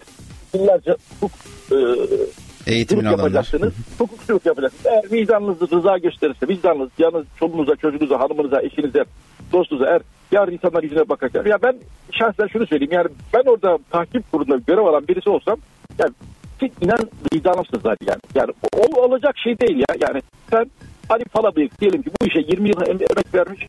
Bir FIFA tokatlı hakem birinci kategoriye kadar yükselmiş. Şampiyonlar Ligi'ne kadar yükselmiş. Belli kulüplerin belli kulüpte dediğin iki tane ya da üç tane kulübün tavırca sen Ali Balabıyı kapının önüne koyuyorsun. Çocuğun şu anda diyelim ki bir kuruş geliri de yok. Bir sigortası yok. Hiçbir şey de yok. Adam buraya emek vermiş. Federasyona güvenmiş. Türkiye'deki futbola güvenmiş. 20 yıl UEFA'da FIFA'da bir yere gelmiş. Kapının önüne koyuyorsun. Hakeza Cüneyt Çakır, hakeza Abdülkadir Bitigen, hakeza Alper Ulusoy. Ya bu, bu, bu, bu şekilde olmaz yani. Yani ya Futbol Federasyonu'nda bu imza atan insanlar bu hakemlerle hiç mi yüz yüze gelmeyecekler? Hiç mi yüzünüze bakmayacaksınız? Ya iyi de beni... Biz, bakın Merkez Hakem Kurulu Başkanı çıktı ne dedi ekranlarda? Bunların hiçbir suçu yoktur dedi. Hiçbir, Evet. Yani, e şimdi e diyorsun ki Fikri Hür hakem diyorsun Fikri Hür. E gördük Cuma günü Fikri Hür hakemin sahadan telefonla nasıl konuştuğunu. Evet o da skandal ya. Sağdan maçla ilgili bilgi Yani veriyor herhalde. Talimat oluyor. sonra- Devam edeyim etmeyeyim mi diye. Ben bugün Futbol Federasyonu internet sitesinden bir cevap bekliyorum. Hakemimiz o saatte, o dakikada yaptığı telefon görüşmesinde işte, atıyorum eşiyle konuşmuştur. Bu da e, kendisi ikaz ediyor. Telefonun orada olması zaten suç değil mi hocam? ya- Olmaması gerekir. Ya maçtan iki saat kala, maça iki saat kala maçın patronu hakem. Her şeyi hakem karar verir. Doğru. Ya hakem maçtan önce telefonlar kapatılır. Bu böyledir. Yani bak Oğuz Sarvan Merkez Hakem Kurulu Başkanı'ydı dedi ki bir tane hakemin dedi iki saat kala telefonun açık olduğunu görürsem dedi daha maç vermem dedi. Yani ve dünyada da böyledir. Yani sen yani hiç bir defa gördün mü bir tane telefon bu kadar? Ben hiç görmedim hocam. Antrenman Elinde hakem. Yaparken, aynen aynen. Sağda ısırırken cep telefonuyla sahaya çıkan gel. Yani hakikaten. Kötü noktaya gidiyor her şey. Galiba hat mı kesildi? Alo. Evet hat gitmiş. Ee, zaten süremizin de sonuna geldik. Evet hattımızda Türkiye Gazetesi Spor yazarı Ömer Faruk Ünal vardı. Hocamıza çok çok teşekkür ediyoruz. Bugünlük de Ters Köşe'nin sonuna geliyoruz. Yarın sabah görüşmek üzere. Hoşçakalın. Radyo Spor'da kalın. HDI Sigorta Aygün Özipek'le Ters Köşe'yi sundu. HDI Sigorta, HDI Sigorta. Tekrar yayınlanan programı dinlediniz.